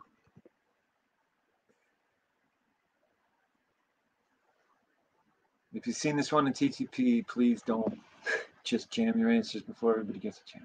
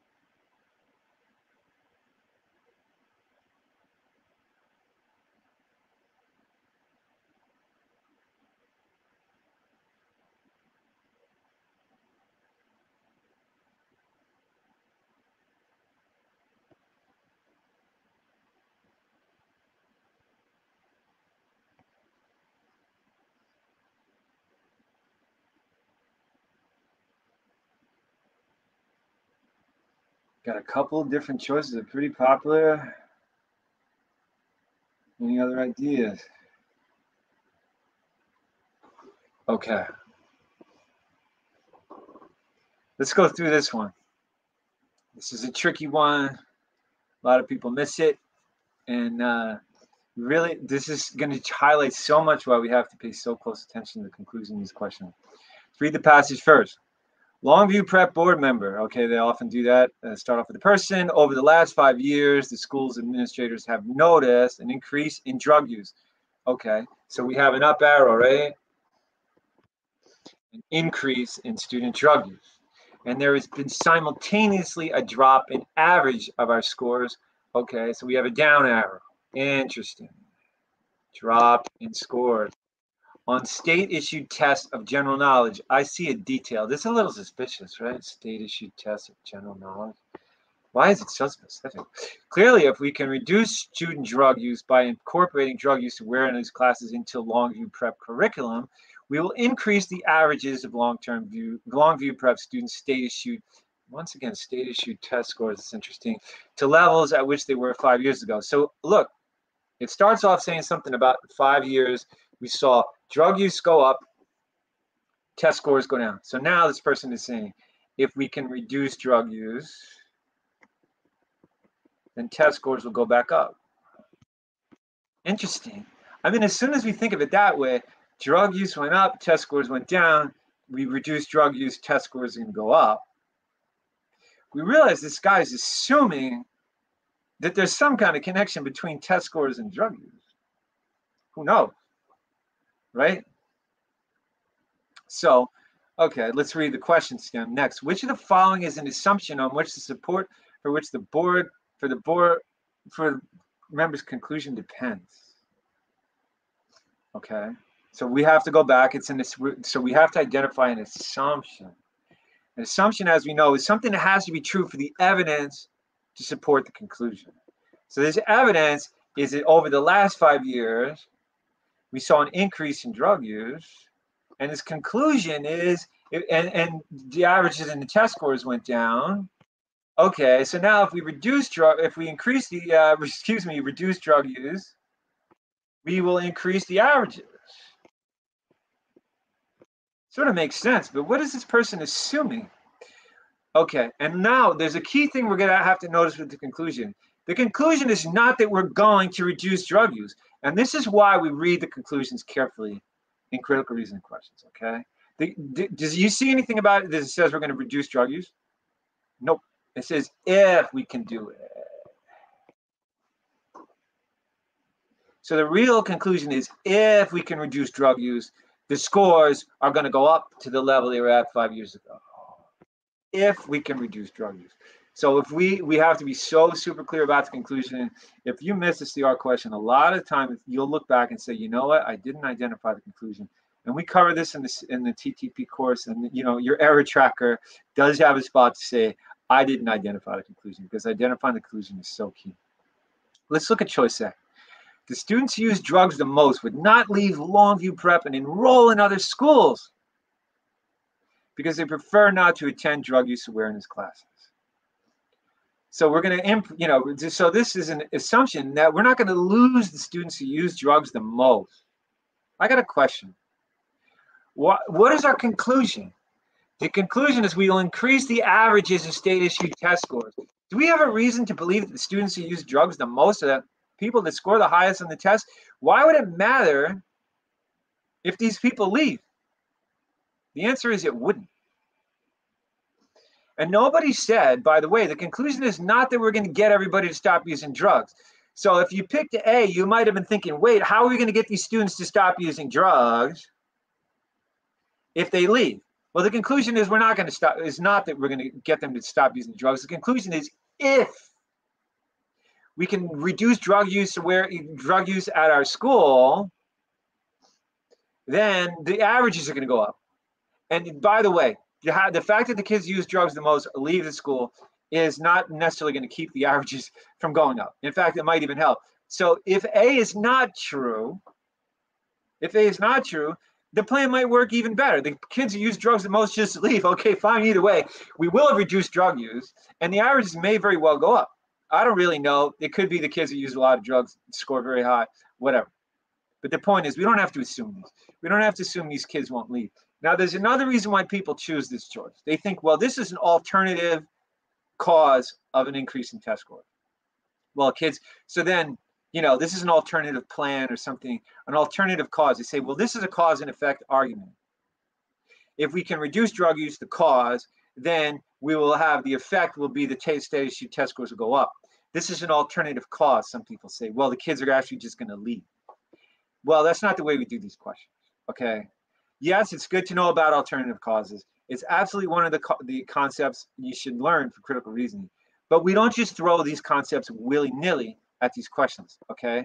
So you can't, you see what I'm saying? A lot of, you know, it's so easy to go, well, I know it's a cause effect thing going on here, and this is an alternative cause. The kids are going to leave instead. So therefore, it's, you know, this is the assumption. He's assuming there's not an alternative cause. This is, we have to look exactly at the question, not just pick up a pattern. The reason we learn those things like alternative causes is so that we're aware of them. We know what's going on. We're, when we get to the game, we're ready to play. We know what's going on in the field usually, but it doesn't mean that that's exactly what's going on in this question. And in order to get this question correct, we have to identify exactly what's going on in this question. Not just look at a pattern. A is out. B. Over the past five years, Longview Prep has not changed its curriculum by shifting the primary focus from imparting knowledge to development of critical thinking and research skills. I don't know. I don't even know what that has to do with it. And when I don't know, I keep the choice. Okay? And critical reason, when you don't know, keep the choice. You know, I don't know what this is doing there. I don't know what this has to do with it. Well, fine. If you don't know, then keep it. I don't see. Keep it. Right? I don't see the connection. Keep it. C. Longview prep students who use drugs are not able to hide their drug use from teachers and administrators. Okay. A lot of people choose C. A lot of people choose C because they think, well, if they can hide their use of drugs, then we may not be able to reduce drug use. Is the conclusion that we can reduce drug use? No, right? The conclusion is if we reduce drug use, then we'll get state issued test scores to the levels that we're at five years ago. No one said we're guaranteed to reduce drug use. There's, you know, so we don't really care if they're able to hide their drug use. The whole question is if we do it, we'll get this result. That's the person's conclusion. So if there's problems, then yeah, we won't do it. But uh, you're not really arguing with me. You're arguing with the fact that these classes are going to work. There's another issue. Do we really need to be able to see whether the kids are able to hide their drug use? If they can hide their drug use in order to decide whether these classes are going to work, right? Drug use awareness classes. Do we need to see whether they're using drugs to, for classes to get them to stop using it? No. So this C is out for two reasons. D. Test focused review sessions would not be effective in increasing Longview Prep students' scores on state issued tests in general. Okay, this is, we've all heard of this, the alternative plan choice. You know, well, okay, my plan is if we can reduce drug use, then their test scores are going to go up. And someone else says, well, test focused review sessions would be effective too. Does that mean my plan isn't going to work? So the relationship between this choice and the passage is it gives me an alternative plan. Okay. And by the way, I have a question. What if they would be effective? What if test focused sessions would be effective? Would that mean that the scores are not going to go up? So this goes in the same direction as my argument. If someone said, well, test focus review sessions would be effective, great. Well, I have even more reason to believe now that we can get these state issue test scores, if nothing. I mean, you know what I'm saying? We're, we're trying to say, what, would, what is, why would this not work? Because test focus review sessions, they would only help. So D is out. E, most students who use drugs will not eventually reduce their drug use on their own without having to attend drug use uh, awareness classes, without having attended drug use awareness classes, rather. Okay, a lot of people pick E because you're saying, wait a minute, we don't need to do this. But the, what's the conclusion of the argument, people? The conclusion is that if we reduce drug use, we can get the scores up. Does the guy ever say that there's no other way to reduce drug use? That drug students won't reduce drug use on their own. I mean, God only knows also when is reducing drug use on your own? I don't know, 30 years later? By the time they graduate? Is that going to help? But anyway, leaving that aside, the conclusion is that if we reduce drug use, the scores are going to go up. Do we, does it get wrecked? What if we took out this knot? Most students will eventually reduce drug use on their own. Does that wreck my plan? No. So the relationship between this choice is saying I don't know. He's assuming there's no other way things could work out. Right? Is this is another way things could work out? It's kind of an alternative plan choice, kind of like D. Well, it doesn't matter if there's not a way, another way things could work out. All this person is saying is if we reduce drug use, test scores are going to go up. It was a very simple thing right here, right? Drug use goes down, test scores go up. That's all I'm saying. So even if the students do reduce their drug use on their own, test scores could still go up. So my plan still works. So now we're stuck with B, the one we didn't know what was going on. Over the past five years, Longview Prep has not changed its curriculum. Wait a minute. By shifting the primary focus, focus from imparting knowledge to development of critical thinking and research skills. Now let's go back and look at something. Let's clean this up a little bit. Remember this detail, tests of general knowledge in the passage. Who's talking about tests of general knowledge? This is a detail that came up twice. State issue test scores down here too, right? State issue test scores and tests of general knowledge. Well, this choice is saying change its curriculum by change shifting the primary po- primary focus to primary focus from imparting knowledge to development of critical thinking and research skills. Well, wait a minute. If they have changed their curriculum focus and they're no longer focused on imparting knowledge, doesn't that kind of wreck argument? Like the argument doesn't work anymore because now we have a whole other fly in the ointment. This person's assuming that there's no other issue. It could be that state issued test scores over the past five years. Look at this detail. You pick up this detail and it's here over the past five years, over the last five years means basically the same thing. They've changed its curriculum to from imparting knowledge to the development of critical. Re- well, that would wreck the whole thing because now you're not really even sure why the test scores went down. And now you can say, you know, Bob, maybe the test scores went down because we changed the curriculum. And so if we reduce drug use, nothing is going to happen, right? So at that point, his evidence no longer supports his conclusion. So B is the best answer of the bunch.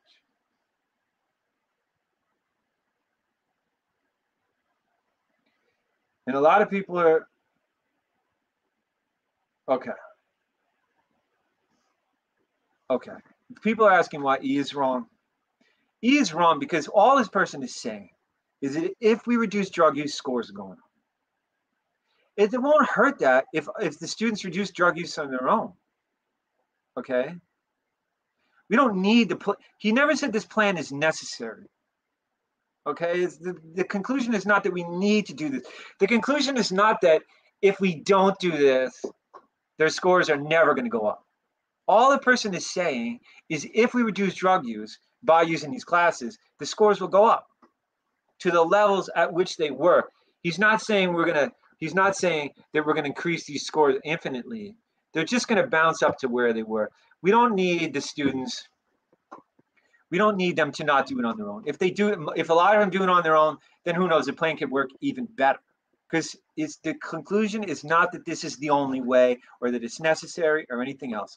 All he's saying is the scores will go back up to where they were if we get rid of drug. I hope that's clear at this point. Yeah, exactly. Okay, one more critical reasoning question, a little tougher. And this one also has a lesson to learn, but let's see if there's any key lessons here. One lesson, if you don't know what the choice is doing, then keep it. Second lesson, pay. The biggest lesson from this one, pay super close attention to the conclusion. And look what our arrows told us. Drug use went up, scores went down. If we can make drug use go down, okay, scores will go up. That's all this person is saying. And the arrows told us the whole thing. And so if we know the direction of what's going on, then we're good that was a key uh, a key thing is understanding that conclusion perfectly. Okay, one more critical reason question.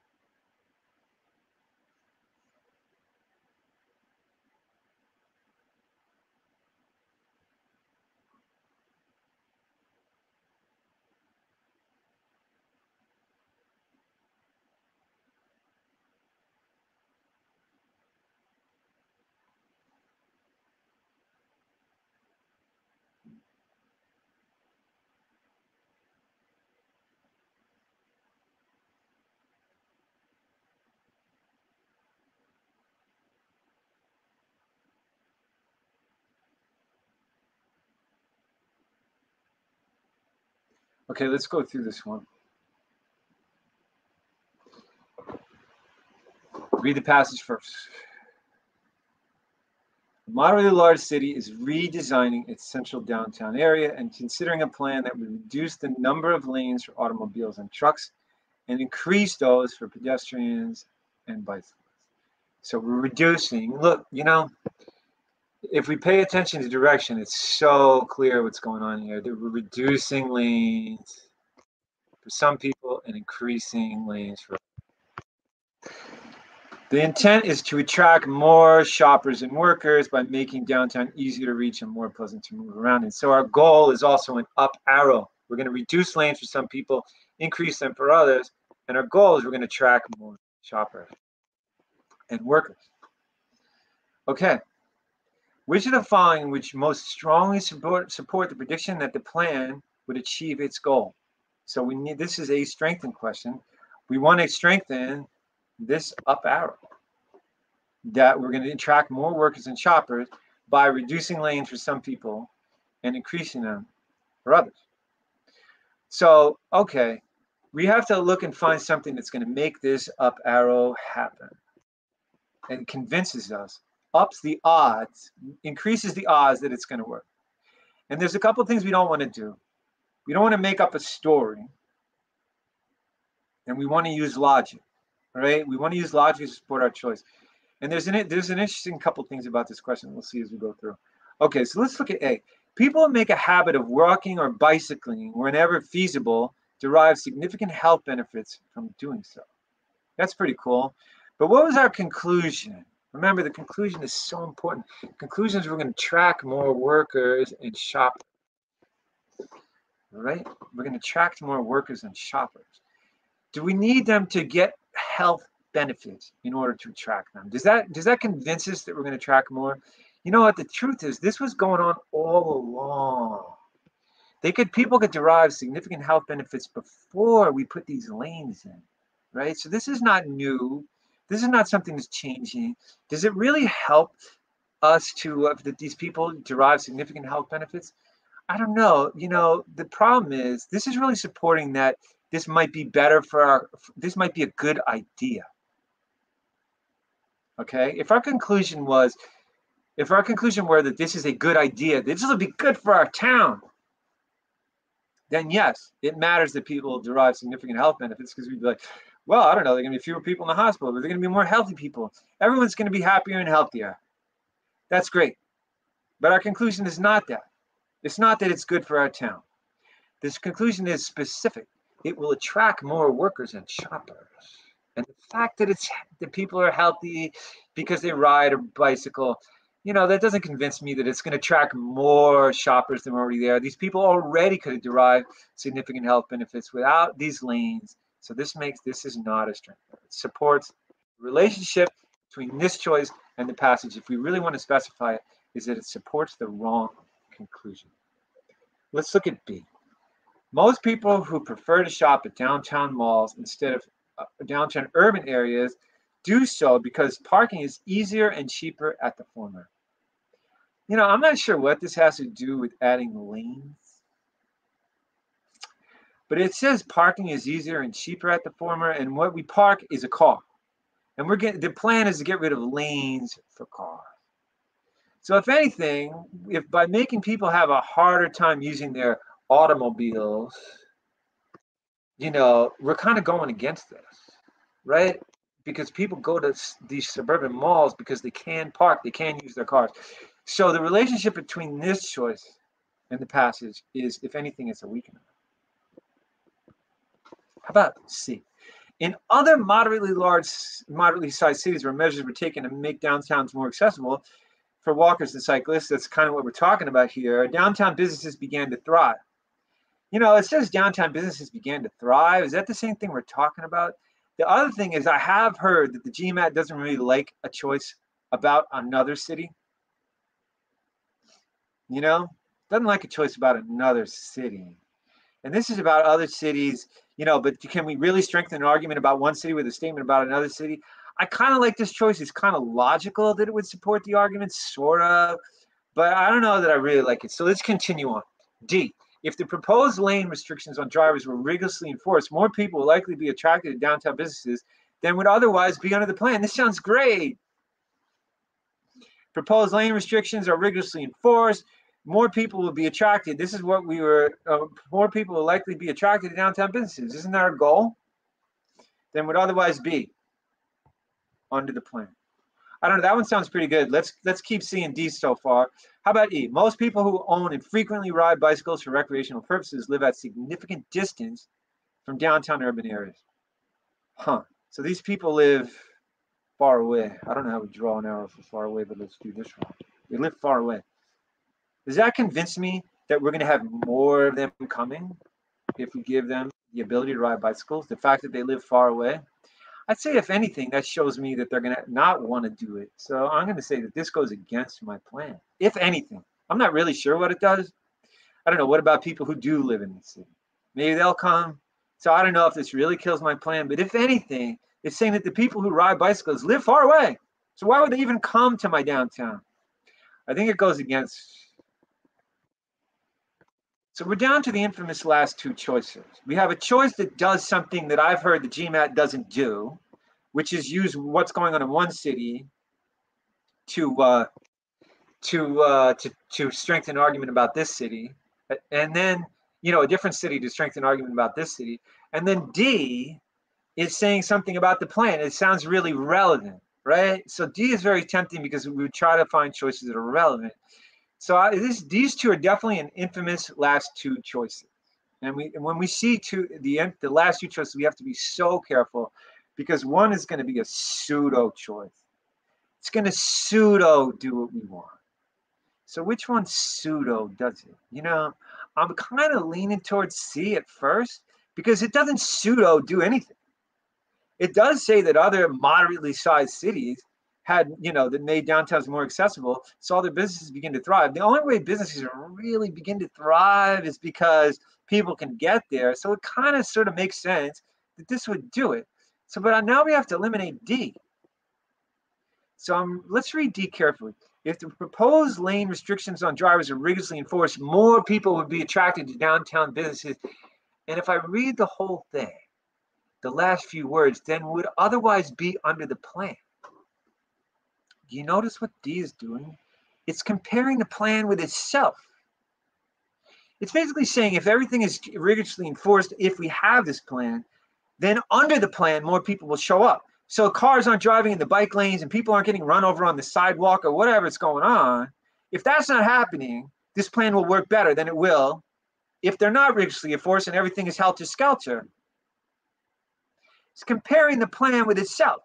Does this say anything about the plan is going to be better than not having the plan? No, it's just what this is all about. What would happen under the plan? So this D, now I see why this is a pseudo choice because even though it looks relevant, it says more people will be likely be attracted. Very cool. And it talks about the plan. It actually compares the plan to itself. How subtle.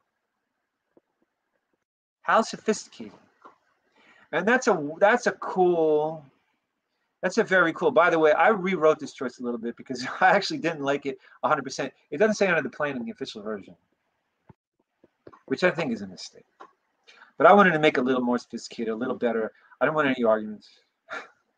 Uh, or somebody saying, well, this question isn't that good because it doesn't really make clear what's going on. So yeah, anyway, that's a fairly sophisticated choice, right? And that's what that's what we're going to see in a hard critical reasoning question. It's something that looks so relevant, it really affects things, but it doesn't do the job for some subtle reason. It's a pseudo strengthener. C is correct. It, we're only left with C. And here's the thing: we have all heard the GMAT does this. They doesn't like when we compare one city, when we use information about one city to strengthen weaken assumption, uh, uh, a question about another city. But we have to be so careful of people saying what the GMAT does because you know where they get that? There's maybe two questions way back when in the GMAT prep test or in the official guide that did something sort of like that. But the GMAT, there's new question writers, first of all, so they might feel a little differently about things. And also, not every situation is the same. And look what they did here. They gave us a tell. The question writer gave us a tell. It says moderately large city here, a moderately sized city here. Come on. This question writer is telling us that this is about the same thing, that we can compare. That's something that what choice he says can strengthen the argument. It's the same basic side, you know, the same basic idea. If it said a tiny little town, then maybe it wouldn't work. If it said like a countryside, then maybe it wouldn't work. But it says a moderately large city. Come on. It's basically about the same thing. And anybody, you know, if we're just being logical, then we can say what applies in one moderately large city probably is going to work in another moderately large city. It certainly gives us more support for our prediction that the plan is going to work, right? And you know, the other thing, it says downtown businesses began to thrive. It doesn't say that more shoppers came, but we can also use a little common sense and say if downtown businesses began to thrive, then more workers and shoppers probably did show up. Okay. And anyway, D is out. A is certainly out. You know, it doesn't, it supports the wrong conclusion. B is out because it weakens. E is out, basically a weakener. So, okay, we're stuck with C. It works. We're good. The question works. It was gettable you know, and if you use a sophisticated approach, you're going to get this right. Let's check your question.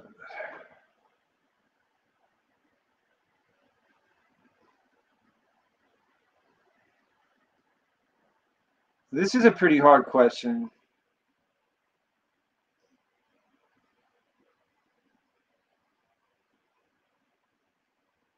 Yeah, I mean, if people are asking about the other city, you know, That's you get the idea. You and this goes for sentence correction or anything else.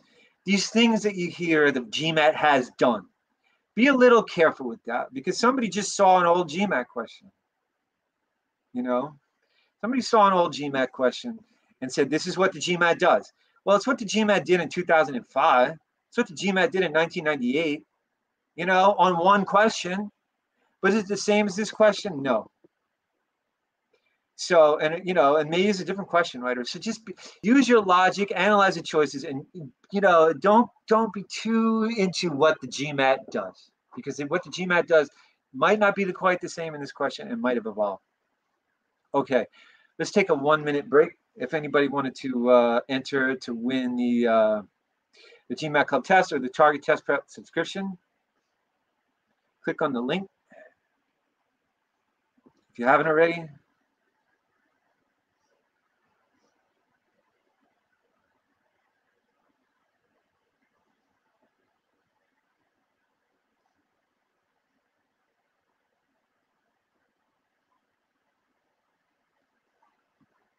And someone's asking, meanwhile, about practicing with questions older than five years old. You can practice the old questions. You'll certainly learn from them. I mean, my point is kind of like that one what happens in one question, even in a new question, you might see something and say, well, this is what the GMAT always does, but you might be making a generalization that doesn't really make sense. Or you might be picking up on something that's very specific to that question, you know, which is basically the same thing. Yeah, you can practice with older questions. Although I would say some of the older sentence correction questions that are super into idioms or something, you're probably not going to have to fight that when you take the, the, test today. The test has become a little more meaning based, uh, a little more sophisticated. The other thing is they know people from all over the world are taking the test, so they don't expect everybody that's you know learned English as their second language to know these little idiom things. So they're not really doing that anymore. So some of the older questions. Um, that have, kind of rest on some idiomatic construction is probably not going to apply to what you're doing today. Also, some of the older sentence correction questions aren't actually that well written, which is part of the reason why people say, well, these questions are so subjective. yeah, some of the old ones were subjective. They were they were kind of ridiculous to the point where you know there's a comparison. that One of them uses the word had in one version and did in another, and you're supposed to say, well, did is better. I mean, the had works perfectly. So that was kind of subjective. So some of the older SC questions are a little subjective and use idioms, but generally you can uh, practice with older questions. I didn't mean to say that. I'm more saying that you can't generalize from what sort of you saw very specific to one question and say, oh, this is what the GMAT always does. You just have to be so careful. You know, there's a lot of rumors out there that float around in the GMAT world, people preparing, oh, this is what you need to do. This is what the GMAT does. Just be a little careful with that any flip little thing. That's what I'm saying.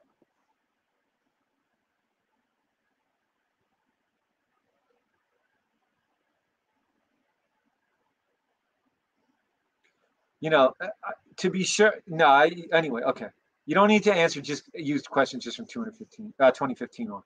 In fact, the, the questions from 2015 are from 2010. Whatever, right? Use all kinds of questions. I practice with all kinds of crummy questions and good questions. It all works out because you just use some judgment, right? You can use an old question go, you know what, I think this seems a little off, but I'm still learning from it. Use judgment and, and use the questions. Let's move on to RC. Okay, our reading comprehension. To master this, the first thing we want to do is learn best practices for reading passages. Okay, this is key. There's ways to read passages and there's ways not to read passages, such as don't just read the first sentence of each paragraph, you know, things like that. The best practice for reading passages includes things like don't not getting bogged down in details, noticing what the key points are, being ready to summarize it, things like that. Another best practice is just as we saw in critical reasoning, read the passage before the first question, especially.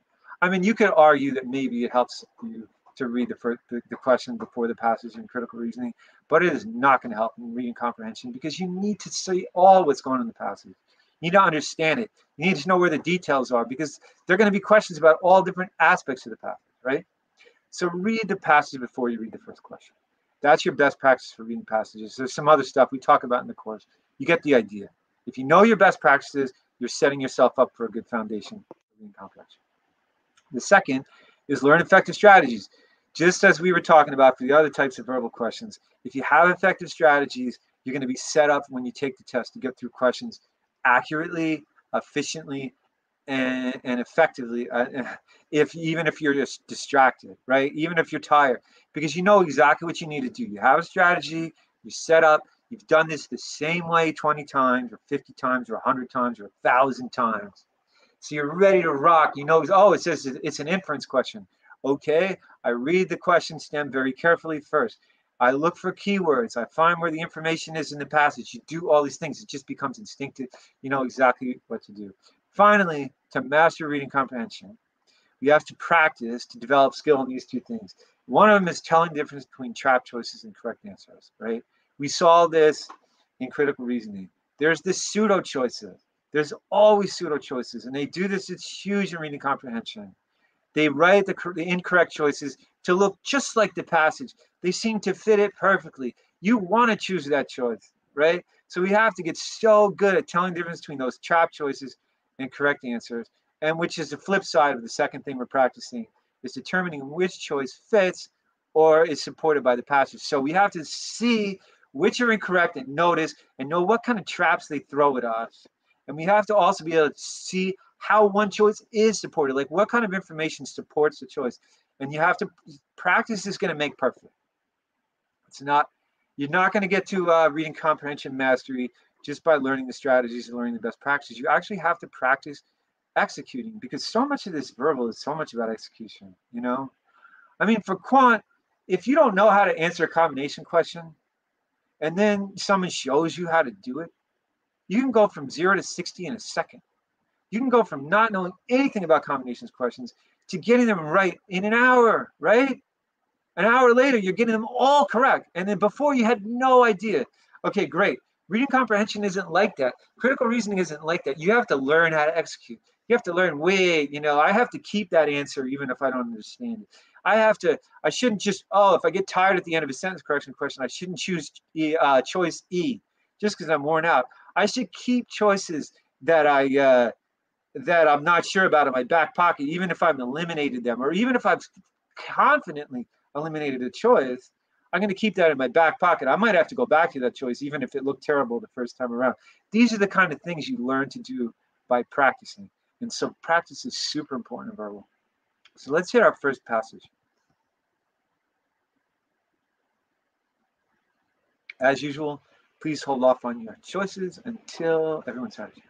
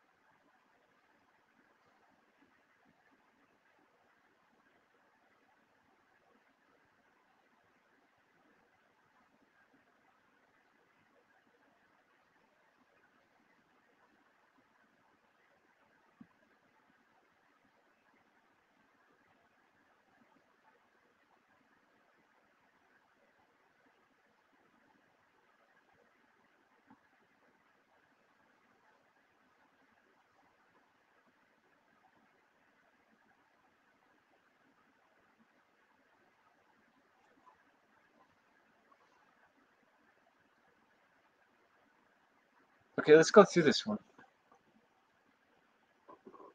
And when we're reading these passages, we definitely want to understand them, but there's but we don't want to get bogged down in the details. And this passage has a lot of details in it, right? So it's definitely a good passage to learn to read for meaning and read to understand, but not get totally bogged down. We can't always, you know, totally process every detail. A lot of people ask me how to speed up in reading comprehension. And the way to speed up, one way to speed up in GMAT reading comprehension is to go through and, you know, read the passage and you're not going to skim, but you don't necessarily have to totally get every detail and you certainly don't have to remember every detail. What we're really going to do is just go through and notice where the details are. You notice where the parts of the passage are, right?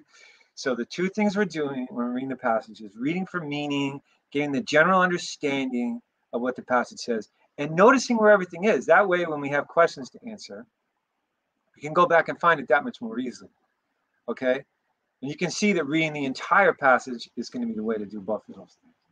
So, okay, starting at the beginning. In 1994, a team of scientists led by David McKay began studying the meteorite ALH 8400 001. Okay. So there's our first, you know, this is our opening sentence, which have been discovered, okay, in Antarctica in 1984. So they began studying the meteorite, which have been discovered. This is our opening sentence is usually key to the passage and uh, sets up everything else. It's not necessarily an important point, but it somehow introduces everything. So it's usually some kind of key part of the thing.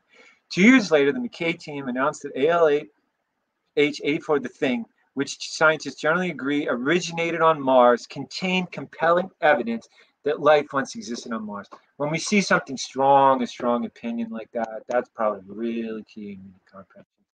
They announce something about compelling evidence. That's huge. Okay, that should jump out at us as an important opinion as a key part of the passage.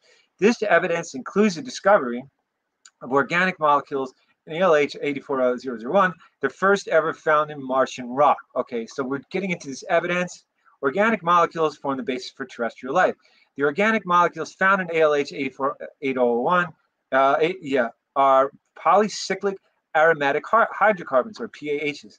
When microbes die, their organic material often decays into PAHs. Okay, so here's the deal. They, they have found compelling evidence, we saw that, that life once existed on Mars. And we can basically see from reading this without getting totally clear about carbon-based compounds and organic molecules, you know, they form the basis for life. When microbes die, their organic material often decays into these things, right? Okay. So you get the idea that this is why that they say this is compelling evidence because microbes die, they turn into PAHs. So this is our compelling evidence. So the first paragraph is basically saying that these guys found this thing. They made this announcement, and they're saying it's compelling evidence that life is on Mars. And when microbes die, they're organic, and the reason is because when microbes die, they make the stuff that was found in the rock. Okay, the organic molecules found in it. Do we need to know anything else about all these? No, right? That's the, that's all we need to know from this first paragraph. Okay, we can come back. If it says something about carbon compounds, you can come back. The first ever found in Martian rock, it says the first ever. Do we need to remember that? You know, not necessarily. Just we need to get the basic idea. Okay. Then the next paragraph, skepticism about the McKay team's team claims remains. Okay, the skepticism remains. However, when we see, however, this is probably an important point. Does that mean that we only look at the keyword however? No, it's just signaling something. And you know, I've seen people go through these RC passages and notice all these keywords. However, therefore, for example, here's for example, here's another one. Keyword. All he knows is the keywords. You know, it's great that you know the keywords. It's great that you study the concepts, but we need to understand these passages. Okay, so we're not just looking at the keywords. Skepticism about McKay team's claim remains, however. For example, ALA, this thing has been on Earth for 13,000 years, suggesting to some that its PAHs might have resulted from terrestrial contamination. So there's one example of a reason why the skepticism exists. However, McKay team has demonstrated the concentration of PAHs increases when one looks deeper into ALH 840001, contrary to one would expect from terrestrial contamination. So they're going back and forth. right? These people are saying, look, it might have resulted from terrestrial contamination. And the McKay team is saying, well, contrary to what we expect, right? The skeptic's strongest argument, however, here's however again, and the strongest argument in opinion, this is usually super important, is that processes unrelated to organic life can easily produce all the evidence found by McKay's team. So this might not have even come from life. For example, star formation produces PAHs. Moreover, PAHs frequently appear in meteorites and one attributes their presence to life processes. Then McKay team noticed that the combination, a particular combination of PAHs and ALH 84001 is more similar to combinations produced by decaying organisms than to those originating from non-biological processes. That's a lot of details, right? We went back and forth twice. But look at this paragraph. It's really just about this skepticism. Okay? And they went back and forth. So if we need to learn about the skepticism, we did. I did see something about terrestrial contamination, but honestly, I'm already like, I already like, I don't know. I'm getting bogged down in these details. You know, it's easy to wonder, to get stuck, get super slowed down. You're wondering what all this means. Don't do it. You realize there's an argument. There's a couple points. If you don't 100% get those points, you know, the po- just remember why they're there. They're there to show us that these people are arguing back and forth. And if we need to go back, we know where all the argument, what? It's in paragraph two. Okay, so now we've read this passage. We got the general idea. We can summarize it very simply. McKay's team started studying this thing, which had been discovered in Antarctica. Two years later, they announced that it contained compelling evidence that life once existed on Mars because the stuff found in it is something that normally happens when microbes die. And then, however, there's skepticism about it that we can go back and forth on a couple points. That's it.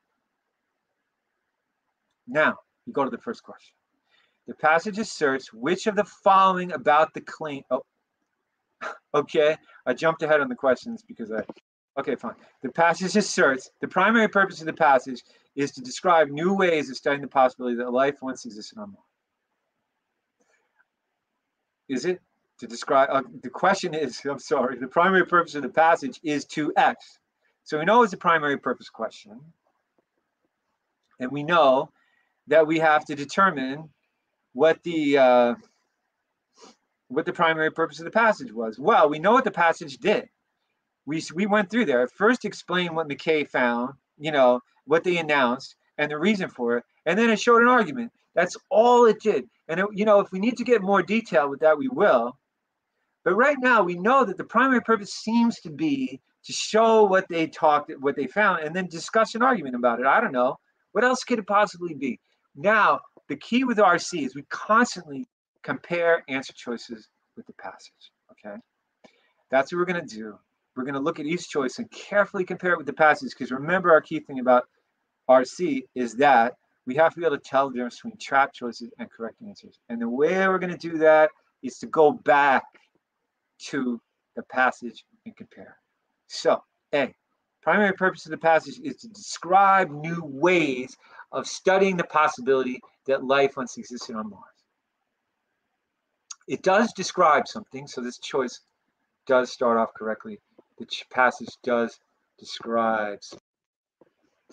Now, does, let's continue with this choice because reading comprehension choices, we need to read the entire thing, beginning to end. Describe new ways. Does anything of studying the possibility that life was, did we ever see any new ways of studying the possibility? We saw one thing that they looked at this rock, this uh, meteorite, and they and they decided that it contained compelling evidence.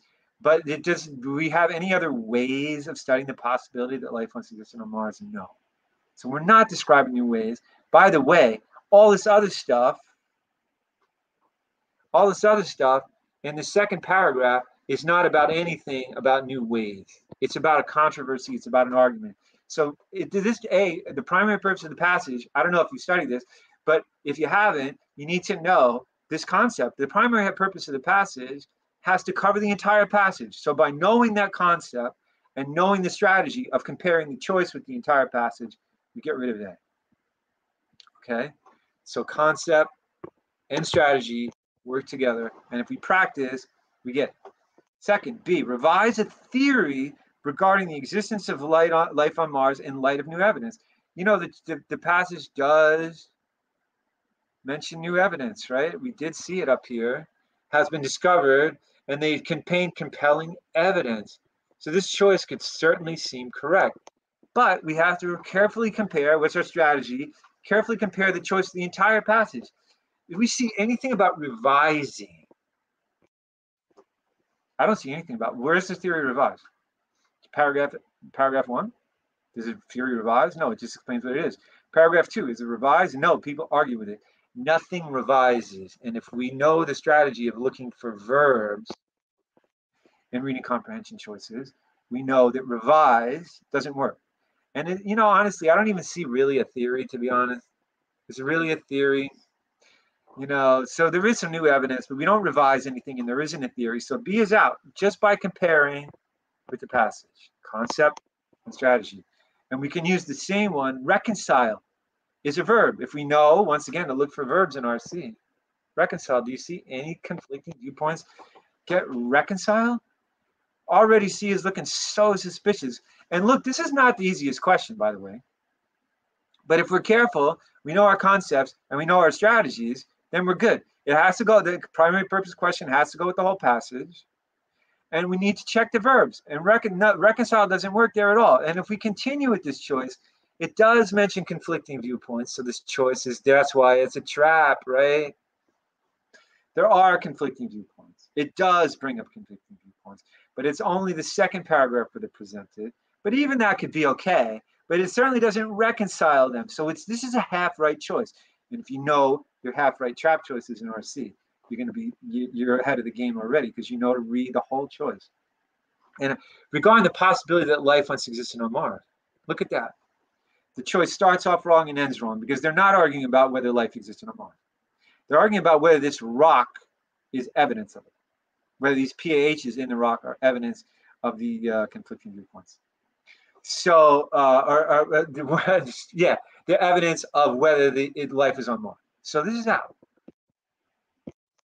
Evaluate a recently proposed argument concerning the origin of ALH 84001. You know, this is funny because this does look like an evaluation, doesn't it? I mean, the verb seems to work, right? I think the verb basically works. It says evaluate it. This second paragraph, it does bring up the argument. And then this paragraph does sort of seem to evaluate it. Uh, but it's to come to any conclusion. You know, when you evaluate something, I would think you'd have an evaluation, and I don't see one. So this choice is looking a little suspicious. But what's our key strategy for reading mm. comprehension? Our key strategy is we read the entire choice, right? That's what we're talking about. Read the entire choice.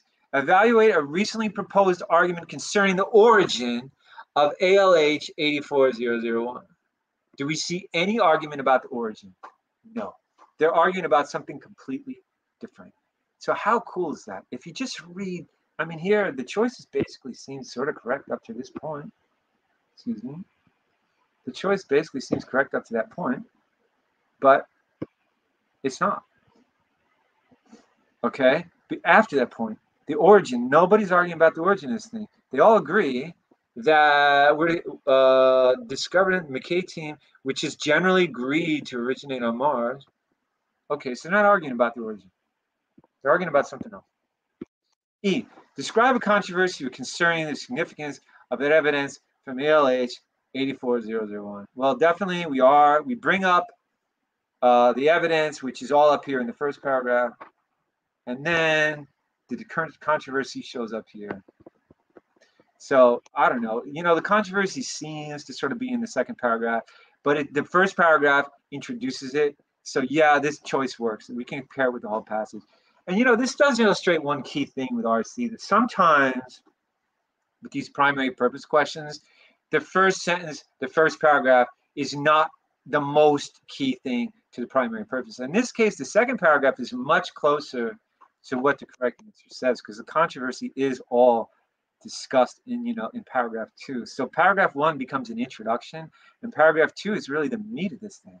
Okay, so don't just say this gives us a great illustration of why we don't just go with the first sentence or the first paragraph of the passage and call that the primary purpose, right? Lesson learned.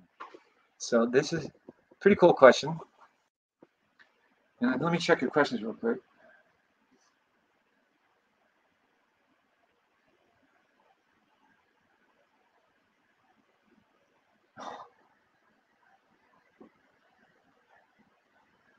Okay.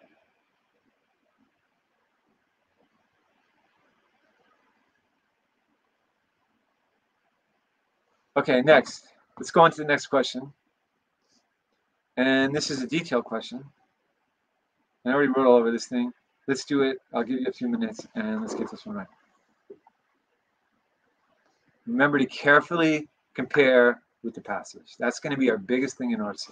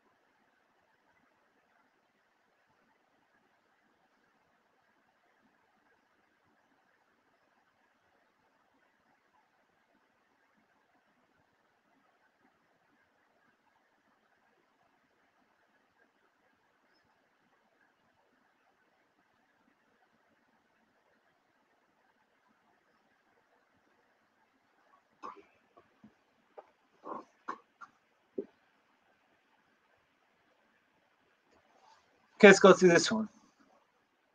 Carefully compare with the passage and, and get it correct. The passage is searched which of the following about the claim that ALH 8401 or 84001 originated on Mars.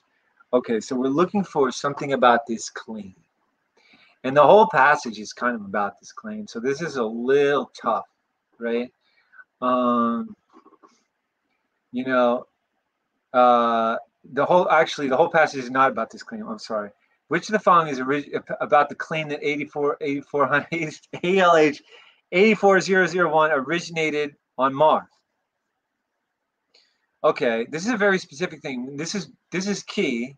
We always have to read the question carefully. And you know what? A lot of us, including me, just for a second there, was thinking that this was about the claim that life that this proved that life uh, uh, existed on Mars. But this is not the claim that this this question is about. We have to, so lesson number one: be so careful when you read the question. It's you know it's it's it's points on the board. It's points on the board when you're answering these RC questions to read the question carefully because that's one way they can trick you. So you can check that off just by reading the question carefully. So this is about the claim that this thing originated on Mars. Well, where is that discussed? It's not in the second paragraph. The second paragraph is all about the skepticism, the argument, the whole thing. So where is this discussed? The claim that it originated in Mars. Look for the keywords in the passage. Mars is capitalized, but it's going to be tough to, you know, Mars is all through this thing. Um, so where are we going to, uh, where are we going to find this, uh, this, this, uh, this information for answering the question? Detailed question, use the keywords. I see originated. That's probably our best keyword for this thing. And sure enough, I see originated on Mars right here in the first paragraph, sort of where we knew it was going to be discussed, right near the beginning. Did you remember that? You probably did. Okay. A, it was initially proposed by the McKay team of scientists. They certainly want us to think that. This is a trap choice. It's called a nearby trap. If you know your RC traps, you know the McKay team is right by here and it's nearby to re-originate on Mars. So you might want to choose A. But does the McKay team announce that this thing originated on Mars? No. The McKay team announced that it contained compelling evidence that life once existed on Mars. So certainly, it was not. It doesn't say according to the passage. Does the passage assert this? No. Okay. It doesn't assert it. The passage doesn't support it. A correct answer to a detailed question has to be supported by the passage. B. It is not a matter of widespread scientific dispute. Uh, that sounds a little funny to me, you know. It's but it seems possible that this is correct. It says scientists generally agree that it originated on Mars. So if they generally agree, it's probably not a matter of widespread scientific dispute. And here's a cool thing. They do this all the time. Notice what this choice does. It says they generally agree. And this said it's not a matter of widespread scientific dispute. So those are kind of the opposite of each other, it's sort of meaning the same thing. If you don't agree, if you do agree, then there's no dispute. They do this all the time. If you know about this type of choice, you're kind of well prepared to see it in the RC questions. So that's probably going to be our correct answer. Uh, C, it has been questioned by some skeptics of the McKay team's work. Nobody's questioned this. They're skeptic, skeptical about something entirely different, about the significance of these PAHs, right? Does it say anything about Mars in the second paragraph? No. Okay, so the skepticism, the skeptics don't care. It has been undermined by recent work on PAHs. Notice this whole thing, the, the key to this whole question is really trying to get us to think that the if we didn't read the question correct, we're done. Because we are talking about the wrong claim. So now we're fighting our way through these choices. And we're saying this is a matter of, you know, if we if we read the question stem wrong, we're going to think this is out. And all these start looking has been undermined by recent work. You know, well, this is the McKay team's claim. Oh man, but it was also, you know, proposed by the McKay team. But you know what could really save you if you did that?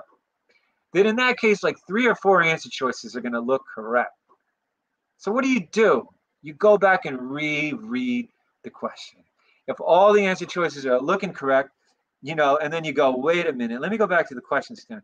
The passage is searched which of the following about the claim that ALH 401 originated in Mars. Oh, I got the wrong claim. So if you're going through the choices and, and everything's working, something is up. And you can do two things. Bounce back to the passage is certainly going to work, but also bounce back to the question.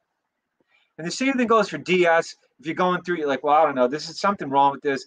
Any question, you can bounce back to the question stem and get a lot out of it. Critical reasoning. You might have read it and thought it was a weakened question. It's actually a strengthened question. If you're really having trouble eliminating choices, one of your moves, bounce back to the questions now. Okay, D. It has been undermined by recent work on PAHs. No. The claim that it originated on Mars is not undermined by anything. It is incompatible with the fact that ALH has been on Earth for 13,000 years. We could make this up in our minds that that's you know, it's incompatible with that fact it's been on Earth for 13,000 years, but just the passage support it. Compare with the passage, uh, which can be discovered in Antarctica. Let's find, does it say 13,000 years? It says it here. But this is part of a whole other argument. It doesn't say anything about the fact whether this thing originated on Mars and being on Earth for 13,000 years, right? This is brought up for a whole other reason. Okay? So this is out two. You just compare it with the passage. But back to B. It is not a matter of widespread scientific dispute. It's certainly correct. A lot of you got this. Nice job comparing with the passage. And B is the correct answer. Let me see what your questions are. Okay. I think everyone kind of got this. And uh, so we don't really need to go through this. Um, question anymore. We're gonna I'm gonna wrap up in a minute. Uh, we're gonna do one more draw too. So let's let's talk a little bit about how to practice for uh, verbal, because a lot of people don't hit their GMAT or have trouble hitting their GMAT verbal score just because uh, they're not practicing effectively. This is so key. I, you know, every day someone says to me, "Man, I really, you know, I've been practicing. I've been using the TTP course, and my my GMAT verbal score is just not what I want it to be yet. What is going on? What do I have to do? And day after day, I tell them do these three things or do these things. Do your practice topic focus. Okay. So learn the the, the um, do one question type at a time. Do weaken questions one after the other. That way you can apply what you learned when you got when you did one question to, to the next question. Your skill is getting better in that specific topic area. Okay, topic focused practice works great. You learn to apply your concepts and get better and better and better at applying the concept. Second one, this is maybe the best, the biggest one of all. Practice on time. Okay, and you know, and I'm not saying practice on time till the day before your test. because then you show up for the test and you're like, wait, I'm used to spending 15 minutes per question, and now I only have two. Okay, that's not going to work out. But most of the time, do your verbal practice and honestly, even your quant practice on time. If you don't gain anything by cutting yourself off at two minutes and getting questions wrong, it works much better to learn to get them right, even if it takes you an hour per question. And I'm, you know, not many people need an hour per question, but some people do. And I've seen it. Somebody told me, yeah, I'm spending, uh, you know, it's common for people to spend a half hour per question, honestly, on verbal questions. And you know what? That's fine. Just practice on time. Learn to get them right first. You need high accuracy to get a high verbal score, you know? You need to get like, if you want to score in the 40s, you have to get nine, over 90% or about 90% of the questions correct, right? So and that's including that's medium and hard. If you're scoring in the 40s, by the way, you're not even going to see any easy verbal question. So you have to be able to get something like 90% of the medium and hard questions you see correct if you want to score in the 40s and verbals. And the way you're going to learn to do that is practicing on time, right? And it's it's cool. You get to analyze all the choices and see other relationships. The, the questions are cool. They're well written. Um, there was one guy I saw recently on GMAT Club saying that he was practicing GMAT verbal. He was doing eight or 10 questions a day, and he had a nice high verbal score. Uh, he was real happy with, and he was doing about eight or 10 questions a day on time, analyzing every choice. And the other thing is, we'll go to this next. Understand every choice, okay? As we saw, we want to understand every choice. And by the way, you're saying, well, I'm only doing 10 or 15 or, you know, certainly not 30 or 50 questions a day, but you're doing five choices per question. So if 10 questions becomes 50 choices, 50 chances to analyze carefully, that's a lot. You saw how many questions have we done here? We've been on for three hours. We did four sentence correction, three. We did four and three, that's seven plus two. We did nine questions in three hours. I mean, it's not quite three hours, but and we've done a few other things. But still, okay, you get the idea. You know, you, and that's about how much time you need to spend on the questions to really see what's going on in every choice. And that's how you learn to do this. So understand every choice. When you get to the infamous last choices, our next point, okay, when you get to these infamous last two choices, don't give up. You really have to stick it out with the infamous last two choices. And a lot of time there's going to be a pseudo choice or a really cool trap choice, especially in the harder questions. You're going to say, I don't know which one of these is correct. And you're going to be so tempted to guess. Don't do it. Stick it out until you decide which of those infamous last two choices is correct. Make sure you see it. That's how you're going to excel.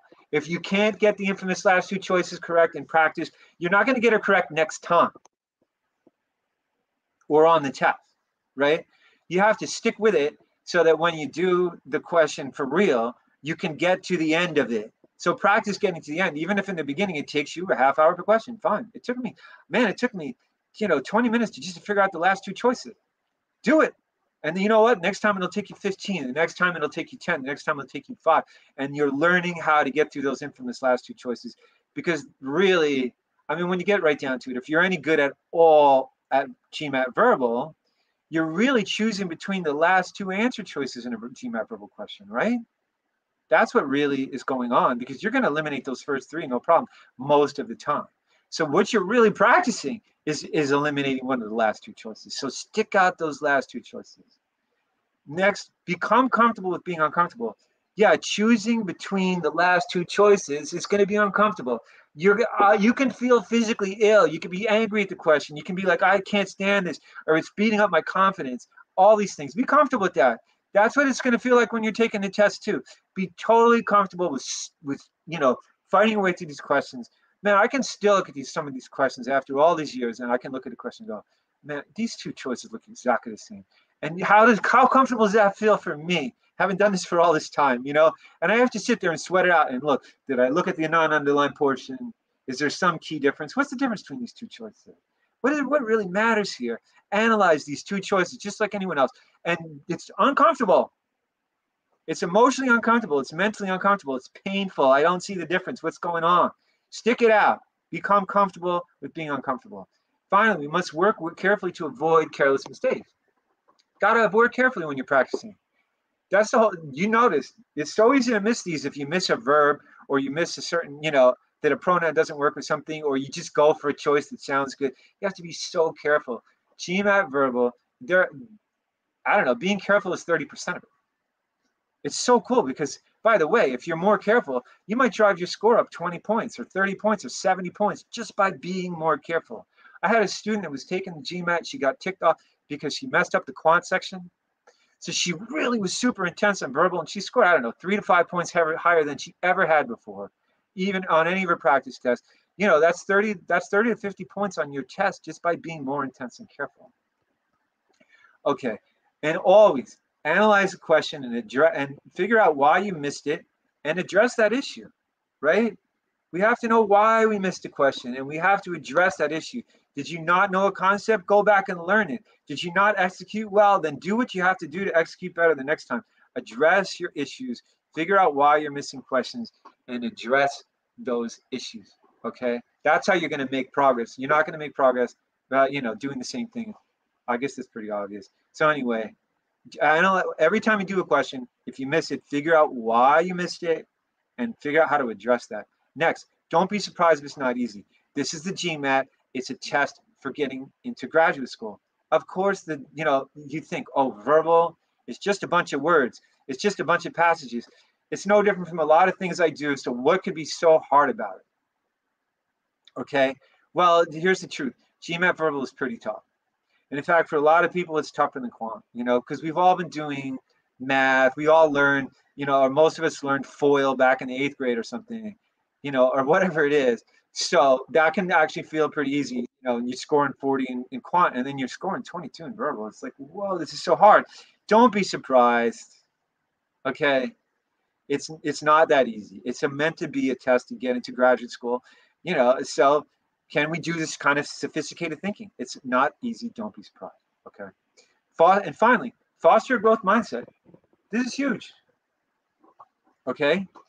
You're fostering a growth mindset and um, and saying, I can do this. Other people have done it. I can do it too. Right.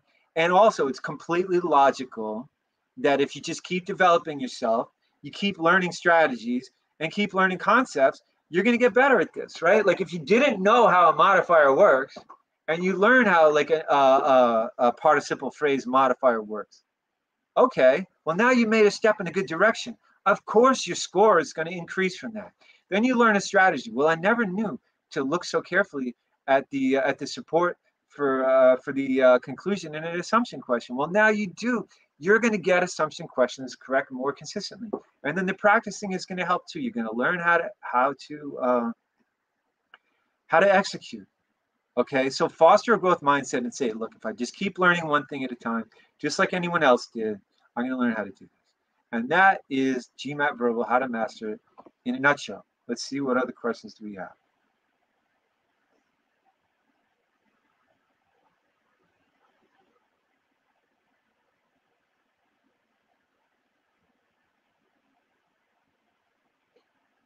Okay. Um,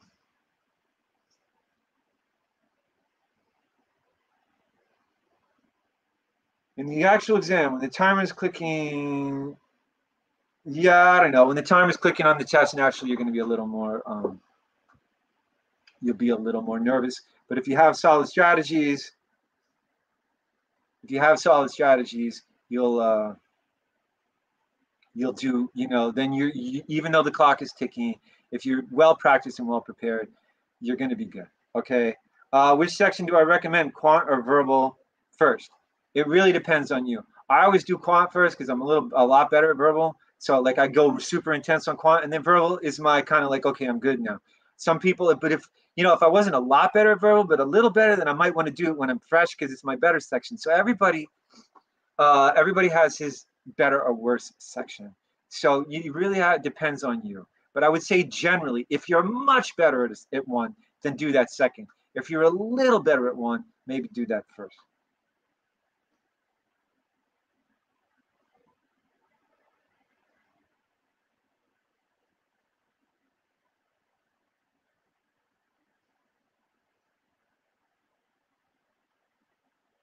Something about the, okay.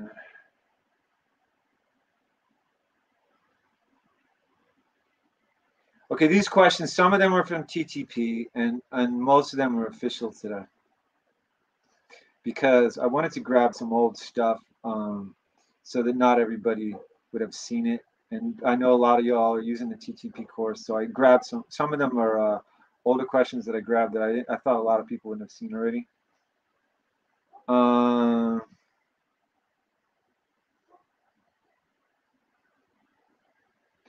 I guess that's pretty much it. If you have any other questions, you can email me at Marty at Target Test Prep. Uh,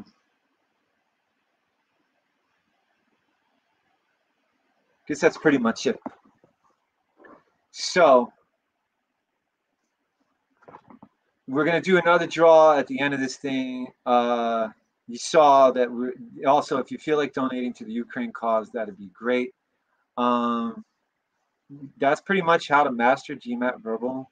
Uh, you know, clearly there's more concepts that we didn't cover, but I hope the uh, the general idea of it really got the job done for you. Hope you all learned some some good things today. It's been really fun doing this. Uh, it's for a good cause too. Uh, happy to see that some people donated. Is and oh, is TTP good? I got some more questions. How hard is it to go from uh, from verbal 38 to verbal 45? Depends. Uh, I've seen people go up six, seven points in in pretty quickly because they just had to be more careful. If it's because you need to learn a lot more concepts, then it might be a little harder. But a lot of time, what you need to do to score higher verbal is kind of um, you kind of need a lot of it's just changing your mentality. Okay, you know, like well, the, like how are you preparing? Like, what's your mentality about the verbal section? Are you being detailed enough? You know, so so that's going to be how fast can you change the general overall way you're handling this is going to be a big part of uh, your success in going from V 38 to V45. Is TTP good for non-natives? TTP is great for non-natives, uh, particularly in sentence correction. It's super, super complete. So a lot of non-natives use TTP and say, okay, finally, I'm finding something that's really covering things. We also wrote it to be super understandable. So that helps as well. But the, you know, the completeness is really, really good, especially in the SC because you know you need to know all these rules that you don't necessarily know, and you know, so we're seeing a lot of non-natives really gravitating toward the TTP course. Does LSAT help with RC and CR? Uh, it can. The, the CR is a little different. Uh, you know, some of the choices don't work quite the same, or they'll have it like I saw recently in an LSAT question, they had two conclusions in one. And, you know, so which the answer choice only is this choice that supported one part of the conclusion, but not the other wasn't good as good as a choice that supported both conclusions. You know, you won't see that really on the GMAT, at least I never have. Um, or I haven't seen it really working that way. So, you know, is the LSAT stuff perfect? No. Can you learn to see what's going on and execute well? Yeah, you'll learn that. So if you run out of GMAT verbal questions, you could use LSAT questions, but I would um I would uh you know do if you practice on time and you carefully analyze the verbal questions choice by choice, the verbal practice questions, then you'll get a lot more mileage out of them. So you won't necessarily need the LSAT questions. So if you're starting to practice right now, I would say if you don't want to run out of GMAT verbal practice questions, then do them on time and analyze every single choice. In sentence correction, you can look for two errors in a lot of, you know, if the choices are longer, a lot of time there are two errors in each choice. So uh, you won't run out of questions if you're if you're operating that way. You know, it'll take a lot longer. There's so many official questions. There's so many TTP questions you can definitely um,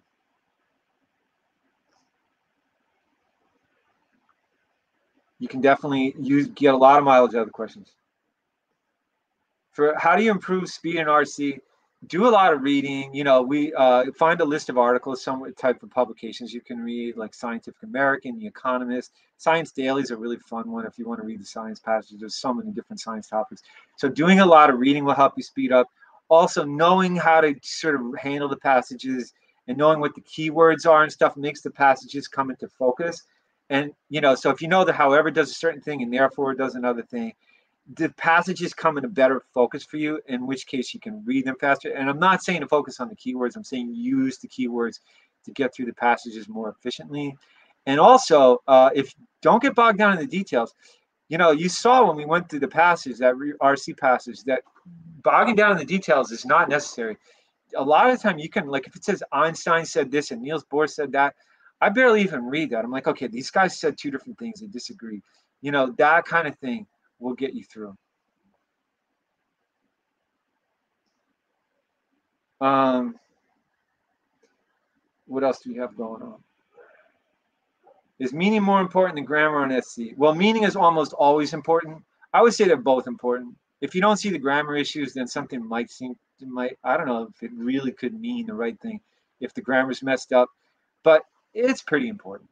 And the other thing is that uh, the grammar and the rules, you know, maybe more the modifier rules and some of the other rules tell you whether the meaning is correct. So it's not as if you can skip the rules and say, well, I'll just focus on meaning because you need some, a lot of the time you need the rules to understand the meaning and whether it's, uh, whether it's correct or incorrect, or, you know, makes sense or doesn't make sense.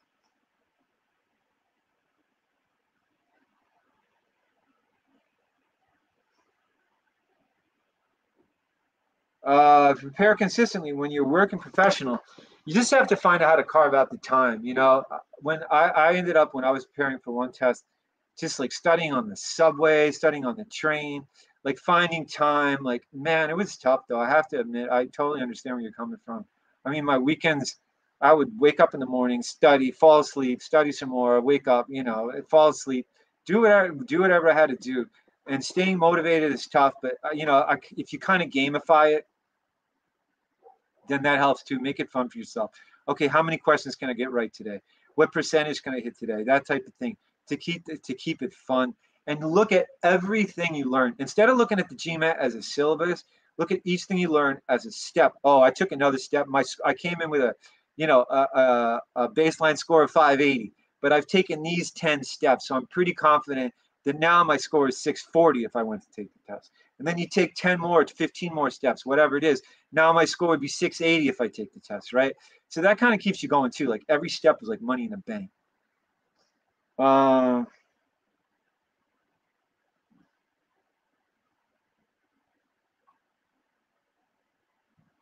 when you start going from untimed to time practice?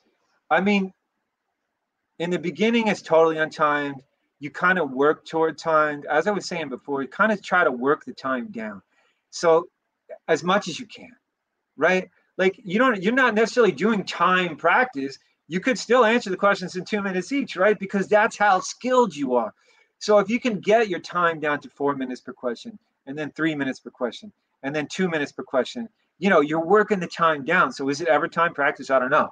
And then, but yeah, definitely maybe a few weeks before your test or the last month before your test, start doing consistently doing, you know, if you want to, do it with a timer at that point that's when you should start doing time practices near to your test so that you're not stuck on test day, like I said, going, oh man, I'm not used to doing this two minutes per question. I'm used to doing it in 10.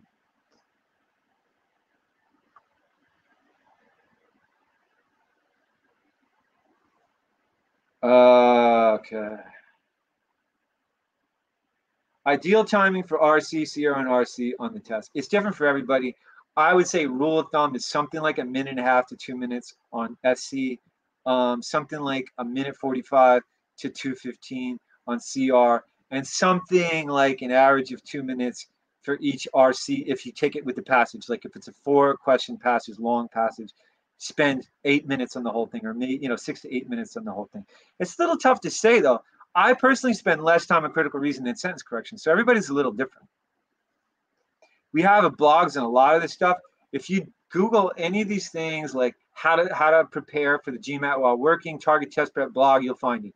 Timing for GMAT verbal, G, uh, TTP GMAT blog, you will definitely find it. And you know we've written in, in depth on all these things.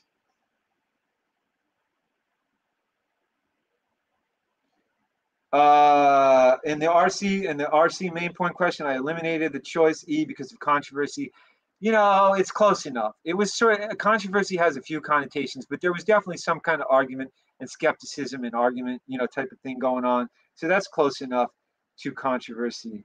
Um, and there, and the other choices really didn't cut it. So we have to go with, uh, we have to go with choice, that choice, choice E. Or what was it, choice anyway? Are we? Am I sure that TTP can recreate GMAT questions? Yeah, I'm absolutely sure that. I mean, did we 100% every one of our questions perfectly mimic a GMAT question? No. Do a lot of them? Do most of them? Absolutely. And we spent, uh, we probably did spend thousands writing TTP questions. The TTP qu practice questions were often reviewed by three, if not four people. They're edited sometimes two, three times. Then we get feedback from the students who are using them. I mean, it's intense. I spent sometimes, I've spent six hours writing one question, which is basically what a GMAT question writer, you know, spends, writes one to three questions a day. We put A lot of the time we ended up doing the same thing on the TTP questions. So that's why they came out just as well, because we spend that amount of we spent we put that into it. We didn't. We're not writing these questions in ten minutes each. We don't have. I don't know. There's not an intern in the back writing questions and then we're putting them in the course. Somebody that's been doing GMAT prep for years is spending hours on each question, and then they get reviewed.